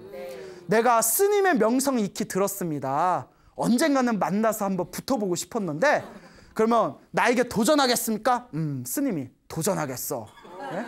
그래서 뭐 도전 백곡도 아니고 저녁에 이제 만나기로 했습니다. 저녁에 스님께서 내가 저녁에 내가 있는 처소로 오시오. 내가 그대를 기다리고 있겠어. 날이 저무면 오시오. 그게 이게 도시 사람들한테 다 퍼진 거예요. 수많은 도시 사람들 퍼지니까 야 들었어? 그 전국을 떠돌면서 수많은 학자들을 굴보시킨 그 잠부가라는 여인네가 사리불 스님하고 오늘 한바탕 붙는데 그러니까 옛날에 TV도 없잖아요. 얼마나 심심했겠어요. 소문이 쫙 퍼지니까 대박 대박 이러면서 대박 사건. 그래서 온 도시 사람들 다 모여서 구경을 하게 됩니다. 딱 이제 사, 사리불 스님이 계신 절에 이제 잠부가가 와서 여자가 와서 이제 서로 딱 대면을 하게 됩니다. 그래서 이제 딱 논쟁을 펼치게 됐을 때 사리불 스님이 그대가 먼저 질문을 던지시오. 그대에게 먼저 야, 어, 양보하겠어. 그러니까 요 잠부가 이 여자가 그러면 내가 당신에게 질문을 던지겠습니다. 내가 던지는 질문에 하나하나 정확하게 답변하십시오 하면서 그동안 자기가 스승 밑에서 배웠던 천 개의 질문을 다 이렇게 쏟아부었대요. 근데 상대가 누구예요? 지혜제일 사리불이잖아요. 천 개의 질문에 대해서 하나도 막힘없이 다 대답을 했대요. 근데 이제 그 내용이 뭐였는지는 안 나오고 하여튼 천 개의 질문을 완벽하게 대답했더니 잠부가가 지쳐서 더 이상 질문할 게 없는 거예요. 그래서 나중에 잠부가가 인정을 합니다. 내가 질문한 천 개의 그 질문에 대해서 당신은 완벽하게 답변을 하셨습니다. 자, 그럼 이제 당신이 나에게 질문하십시오. 내가 받아주겠습니다. 하니까 사례불 존자께서 다음과 같이 말씀하십니다. 당신은 나에게 천 개의 질문했지만 나는 딱 한 개만 질문하겠습니다. 딱 한 가지만 질문하겠습니다. 그러면서 사립을 쓰면 이렇게 질문을 합니다. 하나는 무엇입니까? 이러는 거예요. 하나는 무엇입니까? 그러니까 하, 하나? 하나면 하나지 뭐 둘이겠느냐? 이거 아세요? 뭐 둘이면 둘이지 셋은 아니야. 예? 예? 이거 이거 이거 듣고 웃으신 분은 예, 9세대예요, 9세대. 예? 우리 때 유행하던 영심이 노래잖아요. 예? 하나면 하나지 둘이겠느냐. 그러니까 나 당신은 천 개의 질문했지만 나는 한 가지만 질문하겠습니다. 하나가 무엇입니까? 그 하나 수가 딱 막혀버린 거예요. 예? 뭐 차라리 하늘에서 비는 왜 내려? 라든가 예? 야, 사람은 왜 배가 고파? 라든가 하면 뭐 말할 거리가 있잖아요. 하나는 무엇입니까? 하니까 딱 막혀서 네, 이 잠부가 이 여인네가 그래도 정직한 사람인 거예요. 그러니까 모르면 모른다고 얘기하는 거예요. 예. 우리가 뭐 억지 부릴 수도 있잖아요. 예? 하나 더하기 하나는 둘? 뭐 이럴 수도 있고. 솔직히 모르겠습니다. 당신의 말한 질문에 뭐라고 대답해야 될지 모르겠습니다. 한 번도 이렇게 막혀본 적이 없었는데 모르겠습니다. 가르쳐 주십시오 이러더래요. 그 사리불 스님이 미소를 지으면서 이것은 우리 부처님께서 가르쳐 주신 법문입니다. 그러니 오직 부처님께서만이 가르쳐 주실 수 있습니다. 당신이 머리를 깎고 비구니가 된다면 가르쳐 드리겠습니다 하는 거예요. 머리를 깎고 비구니가 되라. 그런데 머리 깎고 비구니가 됐어. 어, 진리에 대한 열정이 뛰어난가 봐요. 아, 내가 비구니가 돼서 부처님 제자가 되고, 되겠습니다. 근데 그 하나를 가르쳐 주십시오. 그 머리를 깎고 다 비구니가 되겠다라고 이제 결심을 한 뒤에 약속을 한 뒤에 이제 부처님께 찾아가서 인사를 드립니다. 이제 사리불 스님이 그 잠부가를 데리고 부처님께 이제 모시고 가서 부처님께 이 잠부가가 하나에 대해서 궁금하답니다. 거룩하신 부처님이시여 이 여인에게 하나에 대해서 가르쳐 주십시오 했을 때 불교의 아주 유명한 법문이 나옵니다. 그때 부처님께서 뭐라고 얘기하셨냐? 부처님은 이미 잠부가의 마음을 다 꿰뚫어 보고 계시잖아요. 잠부가의 그 모든 걸 다 꿰뚫어 보신 부처님께서 다음과 같이 얘기하십니다. 하나란 무엇인가? 한 가지란 무엇인가? 천 개의 말장난에 불과한 교리보다 사람의 마음을 고요하고 편안하게 만들어 줄 수 있는 단 하나의 가르침이 가장 훌륭하다라는 법문을 합니다. 그러니까 네가 아무리 머릿속에 수많은 지식이 있고 천 개의 교리를 안다 하더라도 뭐에 불과할 뿐이다? 말장난에 불과할 뿐이다. 차라리 사람의 마음을 고요하고 편안하게 만들어 줄 수 있는 부처님의 가르침 하나가 그 하나가 가장 뛰어난 것이다. 라는 법문을 듣는 순간 잠부카가 그 자리에서 모든 번뇌와 욕망이 사라진 성자 아라한이 됩니다. 완전한 깨달음을 얻어요. 그 부처님께서 그 자리에서 잠부가에게 비구니계를 내려주시고 머리를 깎여서 비구니로 만듭니다. 그러니까 그렇게 이제 어, 철없고 부잣집에 철없는 아가씨였고 그리고 강도와 결혼을 했고 그 자기를 죽이려고 했던 남편을 절벽에서 떨어뜨려서 죽였고 물론 정당방위지만 그리고 외도 불교 외 종교를 외도라고 하거든요. 외도를 만나서 이제 천 개의 천 가지의 궤변론을 배웠고 수많은 사람들을 수많은 학자들을 색치어로 굴복시키고 자기가 잘났다는 암안심에 가득했던 이 잠부가가 사리불 스님을 만나고 부처님의 법문을 한마디 딱 듣는 순간 그 자리에서 모든 번뇌가 사라진 성자가 되게 됩니다. 네. 그래서 이 여자의 이름이 바다입니다. 바다. 신바다. 예? 신바다. 자, 그래서 바다 꾼달라 깨시라고 합니다. 예, 이름이 바다 꾼달라 깨시라는 이 비구니가 부처님 비구니 제자 중에 가장 짧은 순간에 아라한이 된 제자로 불교 경전에 기록되어 있습니다. 그만큼 전생에 복을 많이 지은 겁니다. 예, 전생에 복을 많이 지었기 때문에 태어날 때부터 부잣집에 태어났고 엄청나게 예뻤고 그리고 남편 복은 없었고 예? 그렇지만 스승 복은 있었고 결국 깨달음을 얻게 되는 아주 짧은 순간에 위대한 깨달음을 얻은 이야기가 우리 불교 부처님 가르침에 전해지고 있습니다. 우리가 공부를 하다 보면 부처님의 가르침을 모아놓은 것을 팔만대장경이라고 합니다. 사실 8만 대장경에 있는 경전을 처음부터 끝까지 다 읽으려면 20년 정도가 걸린답니다. 일반인의 속도로 하루에 3, 4시간씩 하루 종일 읽을 수는 없잖아요. 어느 일반 일본 학자가 일본 불교학자가 하루 3, 4시간 정도 기준으로 일반인의 속도로 8만 대장경을 읽었을 때 한 15년에서 20년 정도가 걸리지 않겠느냐 계산을 한 게 있습니다. 언제 다 읽어요? 언제 다 읽어요? 어, 부처님의 가르침은 엄청나게 양이 많습니다. 하나하나 버릴 게 없어요. 그때 옛날부터 깨달음을 얻으셨던 뛰어난 큰 스님들께서 한결같이 말씀하셨습니다. 언어 문자로 된 8만 대장경을 다 볼 필요 없다. 결국 하나를 깨달으면 된다. 그 8만 대장경을 하나로 또로로 만들어 놓으면 딱 한 글자가 된대요. 마음심자랍니다. 8만 대, 20년을 공부해야 되는 8만 대장경을 한 글자로 만들면 무슨 글자가 된다? 마음 심자. 마음을 이 마음 하나를 딱 꿰뚫으면 그게 바로 불법의 핵심이라는 거예요. 그 마음 하나를 꿰뚫기 위해서 우리가 절도 하고 연불도 하고 주력도 하고 참선도 하고 경전 공부도 하고 이렇게 법문도 듣는 겁니다. 결국은 마음입니다. 그래서 하나를 뚫어라. 그래서 예전에도 큰 스님들께서 불교 경전 공부할 때 부처님의 말씀을 담아놓은 경전이 많다 보니까 그 경전을 다 볼 필요 없다. 부처님 경전 중에 하나나 두 개라도 제대로 하나만이라도 제대로 뚫으면 나머지 부처님의 말씀이 저절로 뚫린다라는 말씀을 자주자주 하셨습니다. 그 옛날 중국 수나라 때 두 분의 스님이 계셨다고 합니다. 중국 수나라 때 두 분의 스님이 계셨는데 그 이 두 분의 스님이 서로 사형 사제였대요.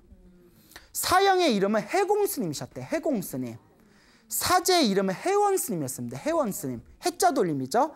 해공 스님, 해원 스님, 사형 사제였는데 이 두 스님이 젊었을 때 서로 의기투합을 해서 스님, 우리 열심히 공부해서 우리 반드시 깨달음을 얻읍시다. 우리가 지금부터 열심히 수행해서 30년 후에 이 자리에 다시 만나서 우리가 공부한 깨달음의 경지를 서로 나눕시다. 자, 우리가 지금부터 열심히 공부해서 30년 후에 봅시다 하고 서로 헤어져서 서로 다른 곳에서 열심히 공부를 했다고 합니다. 그래서 이 사제였던 혜원 스님은 그 당시 수도였던 장안에 들어가서 불교 공부를 미친 듯이 했대요. 그래서 8만 대장경 거의 다 외워버립니다. 거의 다 8만 대장경 다 외우기가 쉽지가 않잖아요. 엄청나게 공부를 해서 30년 후에 사형 해공 스님과 약속했던 그 자리에 딱 나타납니다. 기다리고 있으니까 이제 해공 스님도 오신 거예요. 해공 스님, 해원 스님이 다 만나가지고 이게 몇 년 만이요? 30년 만이요. 야, 어떻게 30년 동안 서로 연락 한 번 안 하고 살까? 자, 그래서 서로 이런저런 대화를 하다가 해원 스님이 그동안 30년 동안 자기가 공부했던 내용을 막 쏟아붓습니다. 부처님 가르침은 이렇고 부처님 교리의 핵심은 이거고 무슨 경의 내용은 이런 내용이 나오고 어떤 경을 보면 이런 내용이 나온다. 이런 내용 막 폭포같이 막 쏟아내는 거예요. 뭐 8만 단장이 다 외웠으니까 할 말이 얼마나 많겠어요. 다 쏟아붓고 놓는데 사형 해공 쓰면 미소를 지으면서 가만히 듣고만 있는 거예요. 근데 사람이 혼자서 얘기하고 떠들면 살짝 좀 무안해지잖아요. 얘기하다 보면 갑자기 어 목미? 막 이렇게 되잖아. 이거 무슨 분위기지? 이제 민망해가지고 어 근데 사형은 왜 그렇게 웃으면서 듣기만 합니까? 아유 우리 사제가 공부 열심히 한 것 같아서 듣다 보니까 내가 기분이 좋아서 그렇다고. 에 그러지 말고 사형 사형은 30년 동안 무슨 공부했습니까? 하니까 이 사형 해공스이 하는 얘기가 나는 30년 동안 나는 머리가 우둔해서 이것저것 못 보고 30년 동안 오지 하나만 봤다. 관음경을 봤다 이러는 거예요. 관음경을 봤다. 관음경이 엄청 얇아요. 엄청 얇아서 법화경이라는 책에 관세음보살 보문품이라고 꽂혀 있는 걸 따로 떼서 관음경이라고 하거든요. 엄청 얇아요. 그러니까 사제가 아예 장난치지 말고 무슨 공부야? 아니 나 30년 동안 관음경만 봤어 하니까 사제가 화를 내는 거예요. 그 관음경은 일반 속가 속인들도 다 외우고 있는 거 아닙니까? 30년 동안 관음경 하나 봤다는 게 말이 됩니까? 스님은 우둔한 게 아니라 나태한 겁니다. 아, 스님한테 실망입니다. 30년 동안 우리 깨달음을 얻자고 약속해가지고 난 30년 동안 그냥 그렇게 잠도 못 자고 오로지 공부만 했는데 뭐? 관음경? 달랑 관음경? 30년 동안 관음경? 우리 여기서 2년 끊읍시다 이러는 거예요. 2년 끊읍시다. 아 승질머리 하거나 그렇죠? 그러니까 사형이 아 화내지 말고 그러면 내가 관음경을 한번 읽을 테니까 내 30년 동안 읽은 관음경이나 한번 이렇게 좀 듣고서 평가 좀 해달라고. 아 됐다고 뭘 그걸 듣냐고. 나도 다 외우고 있다고. 에이 오랜만에 봤는데 그러지 말고 화 좀 누그러뜨리고 한번 들어주시게나. 이러니까 또 사제가 마지못해서 아유 그냥 들어보 들어봅시다. 그래요. 그 30년 동안 얼마나 연불 실력 늘었는지 그 해보세요 해보세요 그 관음경을 다 폈어요 해공 사형쌤의 관음경을 다 펼친 뒤에 나무 관세음보살 보문품 하고 제목을 읽는 순간 갑자기 방 안에서 향냄새가 싹 스며들더래요. 신기한 향냄새가 싹 스며들더니 그러니까 사제가 어? 이거 무슨 냄새? 방귀 꼈나? 이러면서 어? 그 향냄새가 너무 좋은 거예요. 방귀 냄새는 아니에요.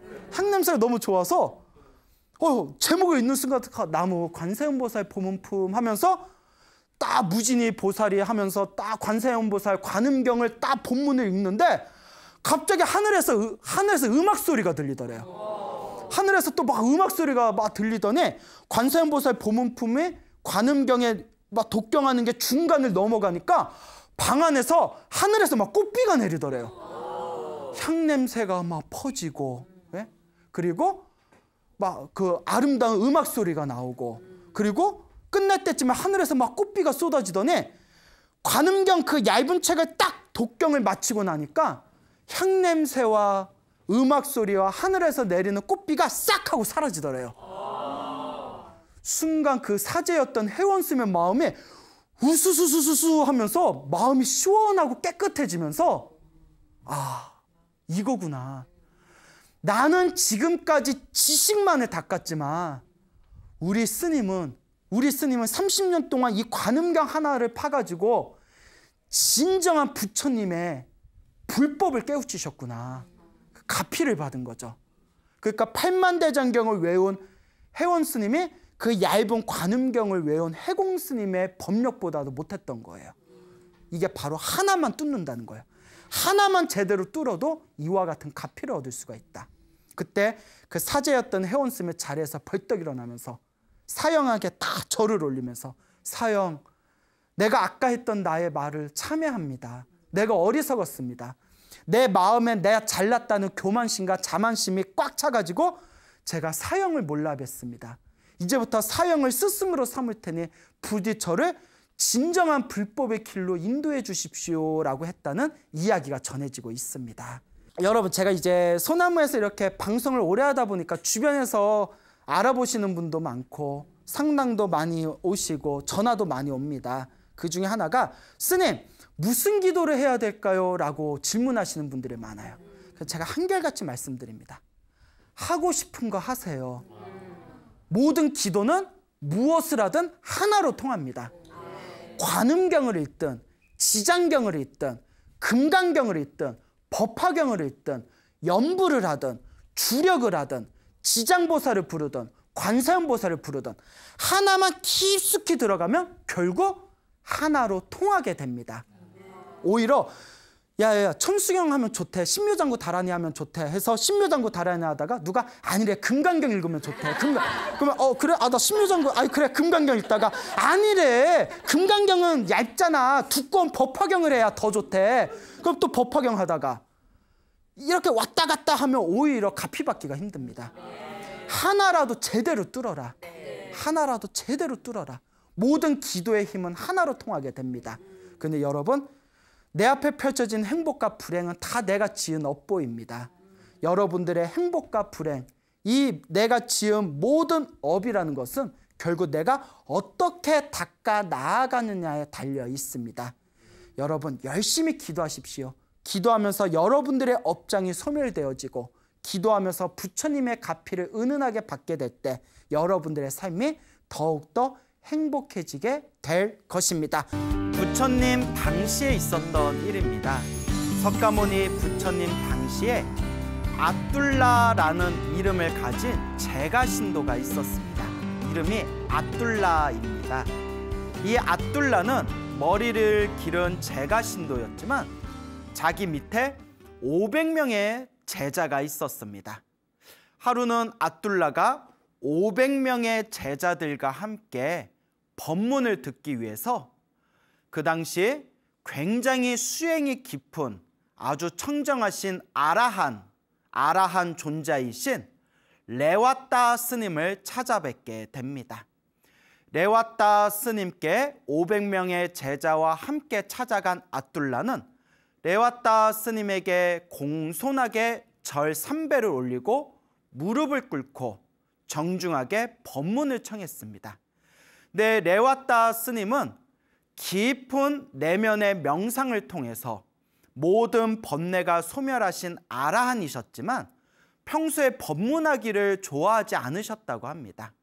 굉장히 성격이 내향적이셨는지 홀로 묵묵하게 당신의 마음을 닦는 것을 좋아하셨지 사람들에게 법문하는 것을 즐기지 않으셨다고 합니다. 그래서 레와따 스님은 아무 말도 하지 않고 가만히 침묵을 지킨 채 가만히 앉아 계셨다고 합니다. 그 모습을 보고 아둘라는 마음에서 뭐 화가 납니다. 아니 우리들이 이렇게 일부러 찾아와서 인사를 드리고 법문을 청했는데 왜 한마디도 안 하시는가? 이래도 되겠는가 하고 마음으로 굉장히 화가 났습니다. 그래서 아둘라는 이제 500명의 제자들과 함께 다른 스님을 찾아뵙게 됩니다. 그래서 두 번째 찾아뵌 스님이 바로 부처님 10대 제자 중에서 지혜 제일이라고 불리웠던 사리불 스님을 찾아뵙게 됩니다.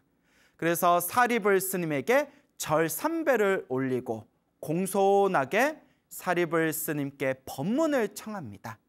사리불 스님께서 질문을 합니다. 아둘라요, 그대는 법문을 듣고 오지 않았는가? 그런데 왜 다시 법문을 청하는가? 그때 아둘라가 이와 같이 대답합니다. 저희가 앞서 저 레와따 스님을 찾아뵙고 레와따 스님에게 법문을 청했는데 아무 말도 하지 않고 가만히 침묵을 지키고 계셨습니다. 그래서 저희는 제대로 된 법문을 듣지 못했습니다. 그래서 스님께 저희가 다시 찾아온 겁니다. 지혜 제일 사립을 존자시여 저희들에게 불법을 설해 주십시오. 그래서 사립을 스님께서 이 압둘라와 500명의 제자들에게 아주 자상하고 아주 상세하고 아주 자세하게 법문을 설하셨다고 합니다. 근데 사립을 스님께서 부처님의 가르침을 자세하게 자세하게 자상하게 세밀하게 법문을 하다 보니까 굉장히 내용이 복잡하고 굉장히 장황하고 그리고 법문이 너무 길어졌다고 합니다. 그러니까 아둘라는 또 마음에서 화가 났다고 합니다. 아니 법문을 청했는데 핵심만 쏙쏙 알아듣기 쉽게 법문을 하셔야지 사리불 스님의 법문은 세밀하고 자세하지만 너무나 복잡하고 너무나 장황하다. 아, 이래서야 무슨 법문이라 할 수 있겠는가 하면서 마음의 불만을 가지고 다시 자리에서 일어나서 500명의 제자들과 함께 아난다 스님을 찾아뵙게 됩니다. 이 아난다 스님, 또 다른 책에서는 그냥 아난 스님이라고 불리우고 있죠. 이 아난 스님께 공손하게 삼배를 올리고 그리고 아난 스님에게 다시 법문을 청합니다. 그때 아난 스님이 다음과 같이 질문을 합니다. 아둘라요. 그대는 이미 앞에서 레와따 스님께 인사를 드렸고 또한 사리불 스님께 인사를 드리고 법문을 듣지 않았는가? 그런데 왜 나한테 또 찾아와서 법문을 청하는가? 라고 아난 스님께서 질문을 합니다. 그때 아둘라가 이렇게 대답합니다. 처음에 레와따 스님에게 법문을 청했는데 아무 말도 하지 않고 침묵을 지키고 계셔서 저희가 법문을 충분하게 듣지를 못했습니다. 그리고 두 번째 사리불 스님에게 인사를 드렸는데 사리불 스님께 법문을 청했더니 자상하게 설법을 해주셨지만 너무나 복잡하고 너무나 세밀하고 너무나 장황해서 저희가 충분하게 법문을 이해하지 못했습니다. 그래서 스님께 찾아왔습니다. 라고 압둘라가 대답을 합니다. 그래서 아남 스님이 이번에는 부처님 말씀 중에서 가장 핵심이 되는 굵직굵직한 내용을 간략하게 간략하게 법문을 해주었다고 합니다. 근데 또 압둘라가 마음에서 또 불만이 생긴 겁니다. 아니, 우리가 이렇게 어렵게 법문을 청했으면 좀 제대로 좀 설법을 해주시지. 왜 이렇게 법문을 하신데 저렇게 간단 간단하게 요약해서 설법을 하실까? 또 그렇게 불만이 생긴 겁니다. 그래서 이 압둘라가 다시 500명의 제자들과 함께 부처님께 찾아갑니다. 그리고 부처님께 직접 찾아가서 부처님께 절 3배를 올리고 공손하게 부처님께 법을 청합니다. 근데 부처님은 이 모든 상황을 다 꿰뚫어 보셨겠죠. 그래서 부처님께서 아둘라에게 다음과 같이 질문을 하십니다. 아둘라요, 그대는 이미 앞에 세 명의 청정한 아라한 스님들께 법문을 듣지 않았는가? 그런데 왜 나를 또 찾아와서 법문을 청하는가? 라고 부처님께서 모든 걸 알고 계시지만 짐짓 모르시는 척 압둘라에게 질문을 던지십니다. 그때 압둘라가 다음과 같이 대답합니다. 부처님이시여 첫 번째 찾아갔던 레와따 스님은 가만히 침묵을 지키고 계셔서 저희가 충분하게 법문을 듣지 못했습니다. 두 번째 찾아간 사리불 스님께서는 자상하게 세밀하게 불법을 설해 주셨지만 법문을 설해 주셨지만 너무나 복잡하고 너무나 장황해서 저희들이 제대로 법문을 이해하지 못했습니다. 그리고 세 번째 스님인 아난 스님께서는 아난다 스님께서는 법문을 너무 간략하게 해주셔가지고 너무 법문을 요약해서 간략하게 간단하게 설법을 하셔서 그 법문을 충분하게 저희들이 이해하지를 못했습니다. 그래서 부처님께 직접 찾아온 겁니다. 자, 그때 부처님께서 다음과 같이 말씀하십니다. 옛날에도 이와 같은 사람이 있었고, 지금도 이와 같은 사람이 있구나. 옛날이나 지금이나 사람들은 쉽게 변하지 않는구나. 라고 부처님께서 말씀하십니다. 그래서 부처님께서 다음과 같이 계속 말씀을 하십니다. 이 세상의 사람들은 말이 없으면 말이 없다고 불만이고 말을 많이 해주면 말을 많이 했다고 불만이고 말을 또 간단히 해주면 말을 또 간단히 했다고 불만이다. 이와 같이 중생들은 이거나 저러거나 항상 비난과 칭찬을 그 구속에서 자유롭지가 못하구나. 그렇죠, 여러분. 말을 안 했더니 말을 안 했다고 불만이야. 또 말을 길게 해줬더니 말을 길게 해줬다고 불만이야. 또 말을 짧게 해줬더니 말을 또 짧게 해줬다고 불만이야. 그러면서 부처님께서 계속해서 다음과 같이 말씀하십니다. 옛날에도 사람들은 이랬고 지금도 사람들은 이렇다.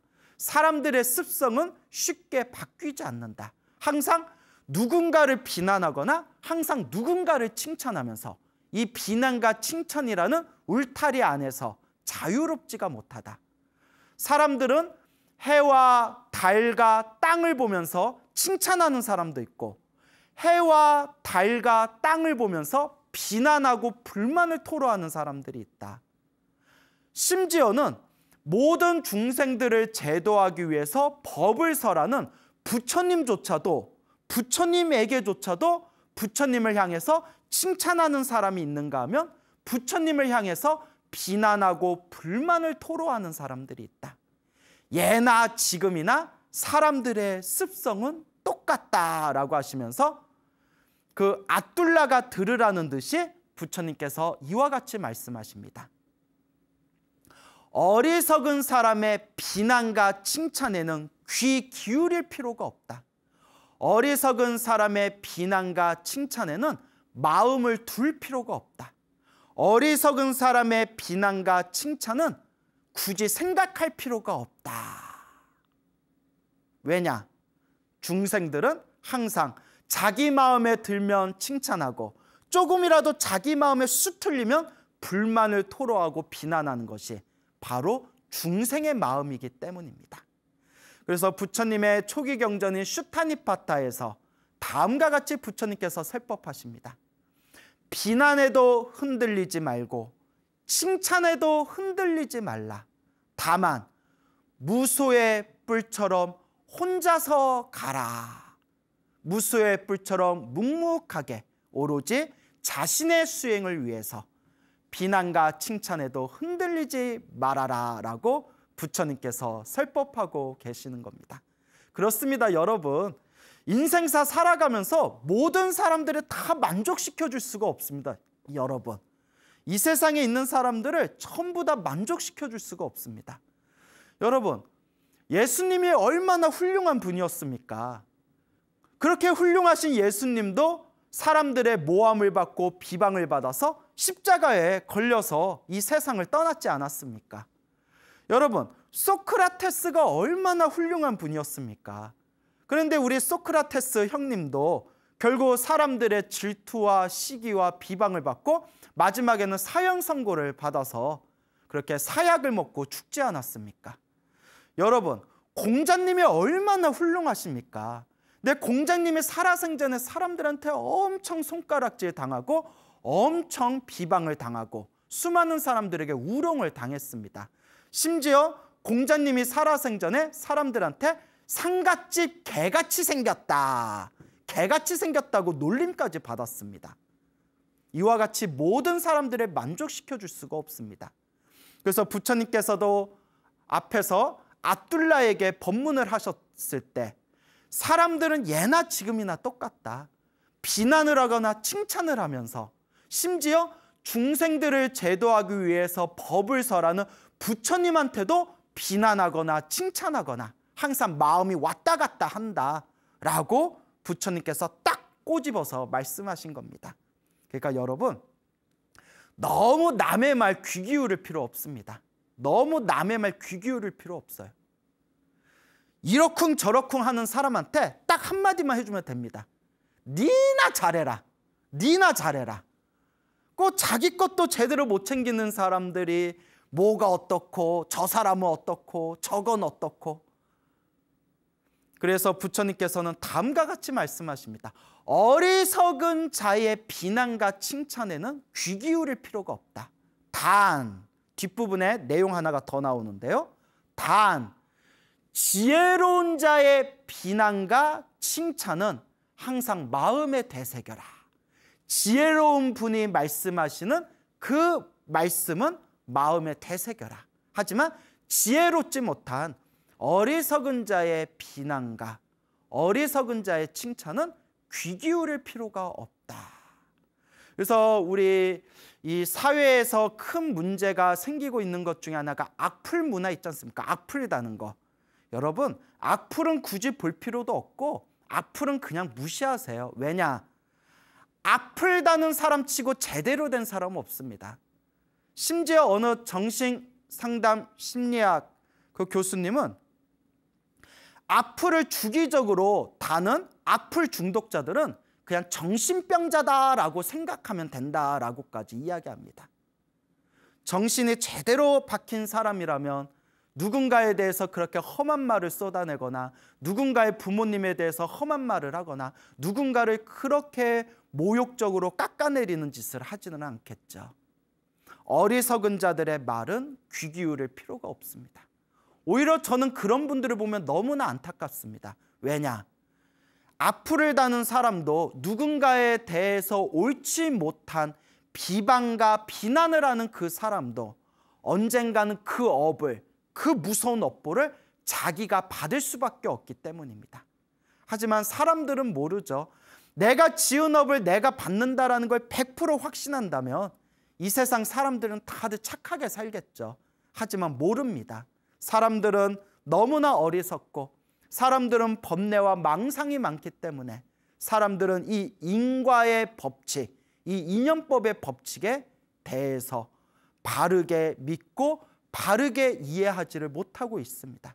그래서 나쁜 짓도 이 나쁜 짓이 언젠가 나한테 불행으로 다가올 것이라는 것을 모르고 지금 자신의 욕망과 자신의 탐욕과 자신의 성냄 어리석음에 인해서 몸과 말과 생각으로 끊임없이 악업을 짓고 있습니다.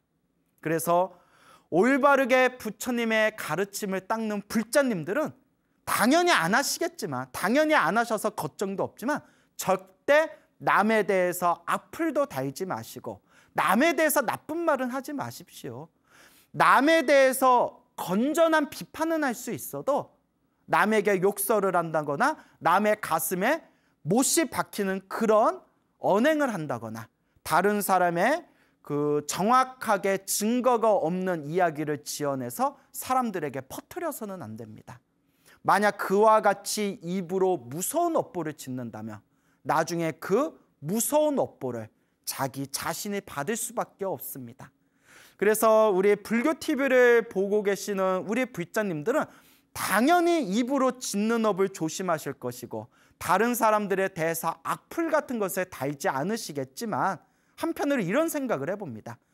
정말 이런 내용, 이와 같은 부처님의 가르침을 배워야 되는 업장이 많은 중생들은 오히려 불교 TV를 보지 않고 열심히 수행하고 성근이 있고 복이 있는 사람들만 불교 TV를 보고 있으니 정말 이 중생 세상은 너무나 아이러니하고 너무나 모순이 가득하구나라는 그런 생각이 듭니다.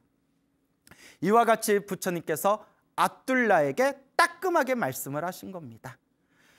말을 안 하면 말을 안 한다고 비난하고 자세하게 말을 해주면 자세하게 말을 해준다고 비난하고 짧게 말하면 짧게 말한다고 비난하고 예나 지금이나 중생들은 똑같구나. 어리석은 자들의 말은 귀 기울일 필요가 없도다. 저도 사람들에게 많이 강의를 하고 또 제가 사찰에서 불교 대학 등을 운영해 보면서 이러한 상황들을 제가 뼈저리게 많이 느낍니다. 이 많은 스님들이 신도들 앞에서 이제 강의를 하실 때 뒤에서 이제 이런저런 이야기들이 들리지 않습니까? 그러면 스님이 자세하게 자세하게 꼼꼼하게 가르쳐 주면 너무 신도들이 굳이 알 필요 없는 내용까지 너무 자세하게 이야기한다. 이렇게 또 이야기하신 분 있고 또 신도분들이 꼭 알아야 되는 부분만 굵직굵직하게 핵심만 요약해서 설명하면 아 우리가 일부러 시간 내어 내 가지고 강의 듣고 법문 듣고 있는데 어, 너무 자세하게 이야기해 주지 않고 수박 겉핥기식으로 그냥 넘어간다. 또 이렇게 이야기하는 분이 있고 또 신도들한테 부처님의 가르침을 학문적으로 깊이 가르쳐 주면 아, 너무 어려워서 못 듣겠다. 아니 부처님 가르침을 쉽게 쉽게 설명하고 전달해야지 왜 저렇게 어렵게 설명하냐 또 이렇게 불만을 이야기하고 또 신도들한테 쉽게 쉽게 재미난 이야기 위주로 전달해 드리면 어, 저 스님 법문은 너무 가볍고 실없다 아, 우리 수준을 너무 낮게 보나? 저 스님은 평생 공부하신 분이 왜 저렇게 수준 낮은 법문만 하지? 이렇게 또 불만을 이야기합니다. 아니, 어쩌라고. 예, 여러분. 아, 이거 어떻게 해야 되겠습니까? 이미 이런 상황이 2600년 전에도 있었나 봅니다. 법문을 안 하시면 법문을 안 한다고 불만이고 사리불 스님처럼 자상하게 세밀하게 법문을 해주면 너무 길다고 툴툴거리고 안한 스님처럼 부처님의 가르침을 간략하게 설명을 해주면 또 너무 간단하다고 또 불만을 토로합니다. 이게 바로 중생의 습성입니다. 불교를 공부하시는 불자님들은 먼저 내 마음부터 닦아야 됩니다. 스님들 중에서도 화술이 아주 뛰어나신 분도 있고 스님들 중에서도 조금 화술이 부족하신 분들이 있는 것도 사실입니다. 어떤 스님은 굉장히 재밌고 발랄하게 강의하시는 분도 있고 또 어떤 스님께서는 묵직하고 무겁고 장중하게 또 법문하시는 분도 있습니다. 각자의 인연이 있고 각자의 특징이 있는 겁니다. 다만 나와 인연이 있는 법문, 나와 성향이 비슷한 그런 스님의 법문을 찾아서 들으시면 됩니다. 굳이 누가 더 낫다, 누가 더 못나다, 굳이 우리 중생들 입장에서 따질 필요가 없습니다. 오히려 자칫 누구 법문은 좋고 누구 법문은 못하다, 누구 강의는 좋고 누구 강의는 못하다. 오히려 그러한 마음이 지독한 아집, 지독한 아상, 지독한 자기의 분별심일 수가 있습니다. 단 여러분들에게 꼭 당부드리고 싶은 것은 어느 스님의 법문을 듣건 어느 스님의 강의를 듣건 제가 꼭 당부드리고 싶은 것은 꼭 당부드리고 싶은 것은 반드시 부처님의 경전에 근거를 두고 법문하고 강의하시는 분들의 가르침을 가까이 하라 말씀드리고 싶습니다. 지금은 말법 시대입니다. 부처님의 경전에도 말법 시대에 대해서 이미 예언을 해 놓았지만 부처님의 법이 점점 쇠퇴하는 시대가 이 말법 시대입니다. 그리고 말법 시대의 특징 중에 하나가 우리 중생들의 믿음도 약해지고 중생들의 지혜도 점점 흐리멍텅해지지만 이 말법 시대의 가장 큰 문제가 가짜 수행자, 가짜 도인들이 많이 나타난다고 합니다. 가짜 도인들이 나타나서 가짜 가르침으로 사람들을 현혹시킨다고 합니다. 이게 바로 말법 시대의 한계입니다. 그러면 이러한 말법 시대에 우리 올바른 마음가짐을 가진 불자님들이 흔들리지 않고 우리 올바른 마음을 가진 불자님들이 올바른 견해로서 바른 길을 가고자 한다면 가장 중요한 핵심이 무엇일까요? 바로 부처님의 말씀을 의지해야 됩니다. 부처님의 말씀을 근거로 삼아야 됩니다. 부처님의 말씀을 모아놓은 경전으로서 근거를 삼고 경전을 의지해서 수행해야 됩니다. 그래서 부처님께서도 열반에 드시기 전에 안한 스님에게 부처님께서 간곡하게 권유하고 설법하시기를 사람에 의지하지 말고 법에 의지해라. 사람에 의지하지 말고 가르침에 의지해라 라고 부처님께서 간곡하게 말씀하신 겁니다. 그래서 우리 바른 마음으로 바른 길을 걷고자 하는 우리 불자님들께서는 요 광우 스님 말조차도 믿지 말고 이건 진심입니다, 여러분. 광우 스님 말조차도 믿지 말고 오로지 부처님의 말씀, 부처님의 경전을 의지하고 수행하는 불자가 되셨으면 좋겠습니다. 그래서 항상 부처님의 가르침을 공부하고 부처님의 말씀을 근거로 삼으면서 이 마음 공부를 잘 닦아 나아가신다면 반드시 여러분들의 마음 창고에 복과 선업과 공덕이 무럭무럭 자라나게 될 것입니다. 이 신도들도 스님들의 법문을 들을 때 각자 자기의 인연법이 있습니다, 여러분.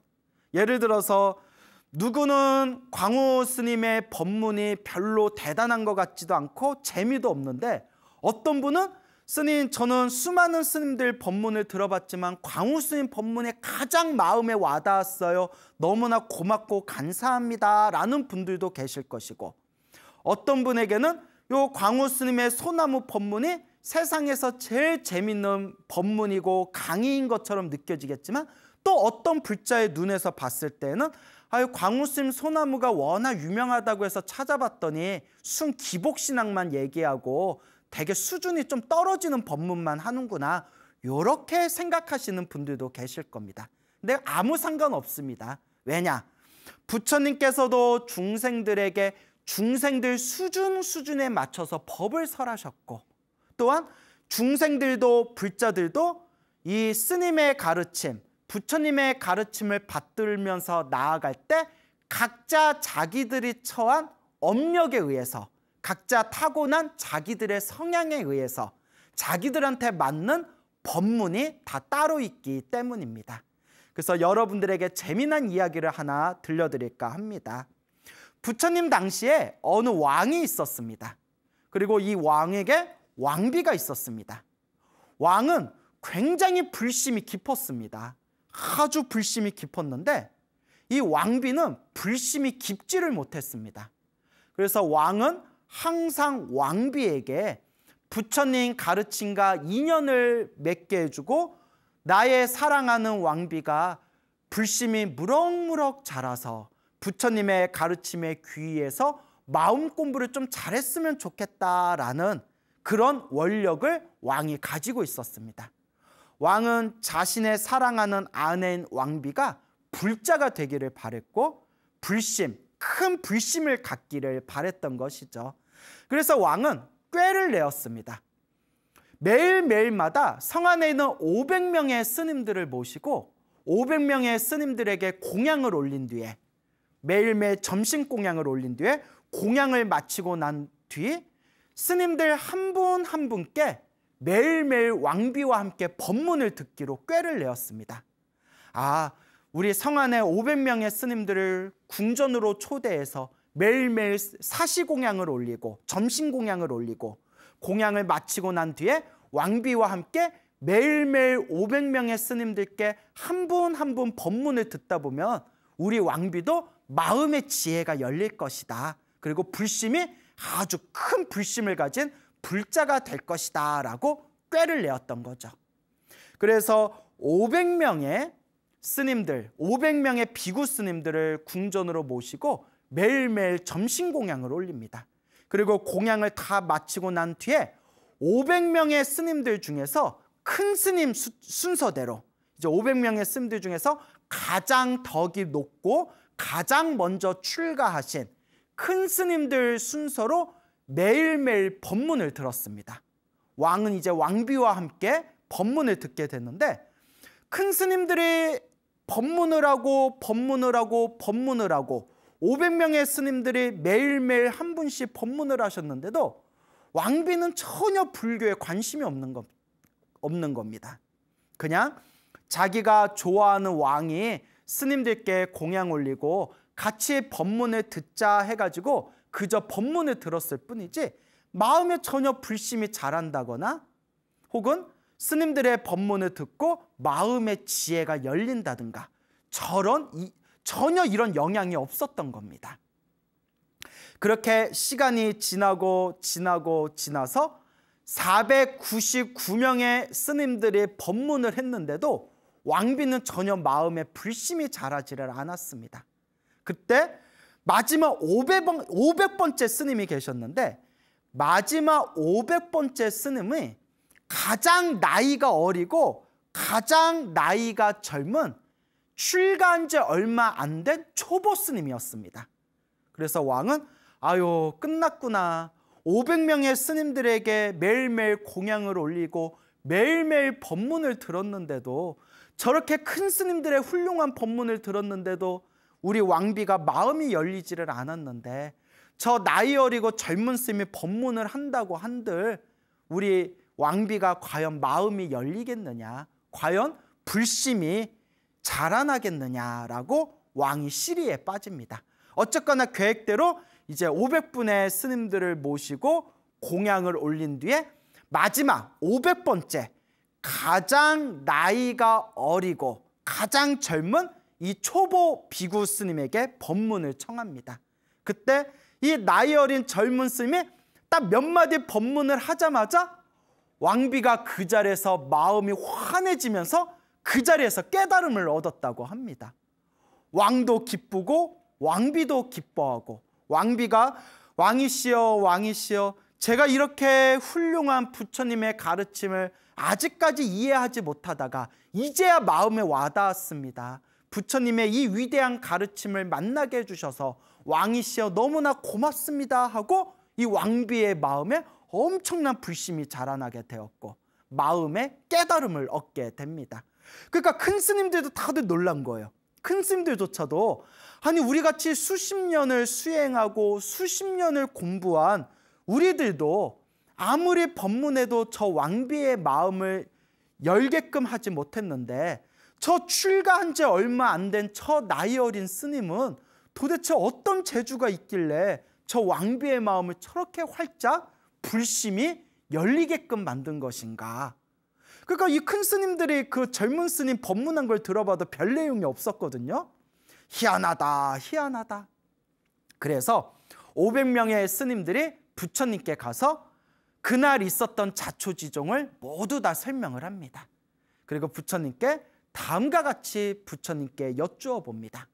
거룩하신 부처님이시여, 거룩하신 세존이시여, 저 나이 어린 비구가 도대체 어떤 인연이 있었길래 몇 마디 하지도 않고 그렇게 심오한 법문을 하지도 않았는데 저렇게 왕비의 마음이 활짝 열리게 된 것입니까? 그때 부처님께서 미소를 지으시면서 부처님께서 다음과 같이 말씀하십니다. 비구들이여, 이 모든 것이 다 인연법이다. 이 모든 것이 다 인연법의 이치이다라고 부처님께서 말씀하십니다. 그리고 부처님께서 머나먼 과거 전생 이야기를 하십니다.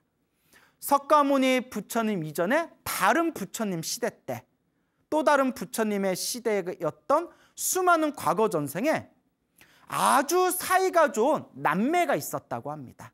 아주 사이가 좋은 오빠와 여동생이 있었는데 이 오빠와 여동생은 항상 스님들께 공양 올리는 것을 매일매일 즐겨하고 그리고 항상 스님들께 공양 올리면서 복 짓는 것을 굉장히 좋아했다고 합니다. 어느 날 이 오빠가 스님들께 공양을 올리고 난 뒤에 공양을 마치고 나서 스님들 법문을 듣다가 마음에 확 와닿는 게 있었습니다. 그래서 마음에 무언가 큰, 큰 것을 느낀 이 오빠가 여동생에게 다음과 같이 말합니다. 동생아, 동생아, 내가 스님들께 법문을 듣고 나서 마음에 내가 크게 느낀 바가 있었다. 나는 이제 머리를 깎고 출가해서 스님이 되고자 한다. 나는 머리를 깎고 출가해서 스님이 되어 이 깨달음을 구할 테니 동생아 너는 이 속가에서라도 꿋꿋하게 열심히 잘 살아야 된다라고 동생에게 이제 이별의 어, 이야기를 하게 됩니다. 그때 여동생이 슬퍼하면서 이제 출가하겠다는 오빠에게 다음과 같이 이야기합니다.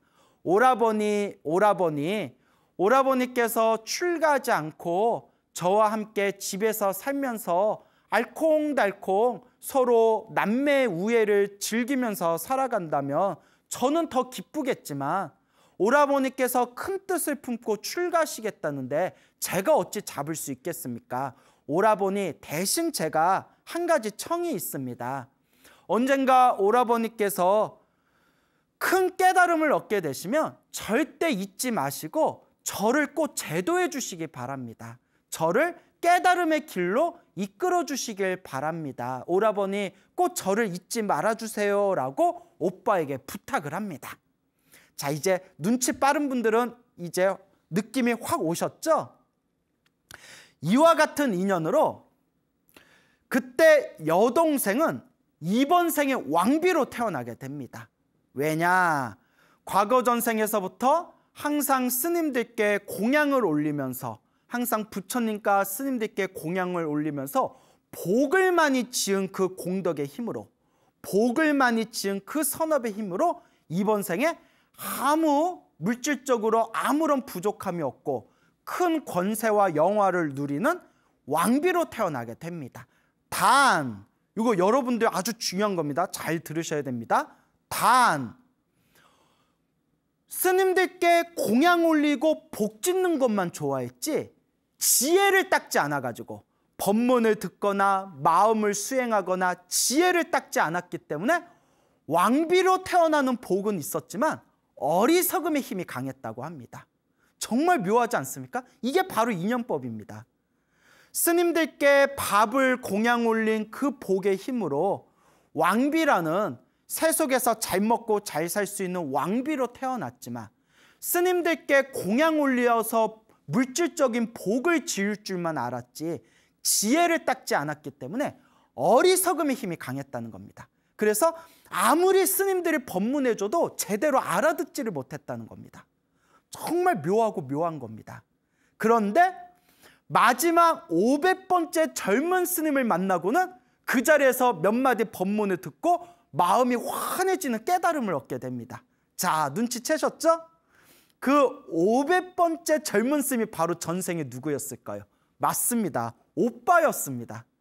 그때 이 여동생이 오빠가 출가할 때 오라버니 오라버니 언젠가 오라버니가 깨달음을 얻으시면 저를 잊지 말고 꼭 저를 제도해 주십시오. 그때 오라버니가 그래 약속한다. 내가 꼭 너를 제도하겠다라는 머나먼 과거 전생의 그 인연법 때문에 앞에 499번째까지의 큰 스님들 법문을 들어도 마음에 깨달음을 얻지 못했지만 누구 법문을 듣고 전생에 저를 제도해 주십시오라고 약속했던 전생의 오빠였던 이번 생 나이 어린 그 스님의 법문을 몇 마디 듣고는 마음이 활짝 열리게 되었던 겁니다.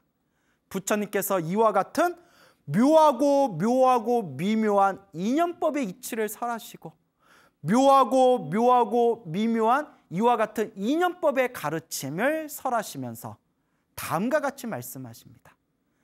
만남과 헤어짐이 모두 다 인연이고 일어나고 사라짐이 모든 것이 다 인연이고 스승과 제자로 만나는 것도 모든 것이 다 인연법이다. 그래서 결론은 여러분 항상 좋은 인연을 지으셔야 됩니다. 항상 좋은 인연을 여러분들이 맺으셔야 됩니다. 이 여동생이었던 왕비와 오빠였던 그 젊은 스님이 머나먼 과거 전생의 우애가 좋았고 오라버니 스님이 되시거든 깨달음을 얻어 저를 제도해 주십시오라는 좋은 인연의 약속을 했기 때문에 이번 생에 이와 같이 좋은 스승과 제자의 인연으로 만날 수 있었던 겁니다. 근데 여러분 말을 살짝 비틀어서 만약에 오빠하고 여동생하고 사이가 엄청 안 좋아요. 야 얼굴도 못생긴 게 왜 이렇게 오빠 말을 안 들어? 허이고 지는 잘생겼나? 어디서 삿대질이야? 뭐 이러면서 서로 이제 싸우는 관계였는데 만약에 오빠가 머리를 깎고 출가한다. 동생아 동생아 나 머리 깎고 출가할 거니까 제발 정신 차리고 잘 좀 살아라. 너 그따구로 살아서 어디 시집이나 가겠냐? 오빠가 이렇게 악담을 했는데 근데 여동생이 어이구 네가 머리 깎고 출가해서 스님 돼봤자 얼마나 수행 잘 되나 보자. 너 스님 되어서 출가해서 수행할 때마다 내가 네 앞에 나타나서 너 수행 못하게 내가 아주 못살게 굴 거다. 이렇게 서로 악담을 지어서 나쁜 인연을 맺었다고 해봅시다. 이번 생에 여동생이 여자로 태어나고 그 오빠가 스님으로 태어났을 때 서로 우연이라도 길 가다 마주쳤으면 좋은 업으로서 펼쳐졌을까요? 나쁜 인연이 되어 나쁜 업으로 펼쳐졌을까요? 정말 알래야 알 수 없는 게 바로 인연법의 이치입니다.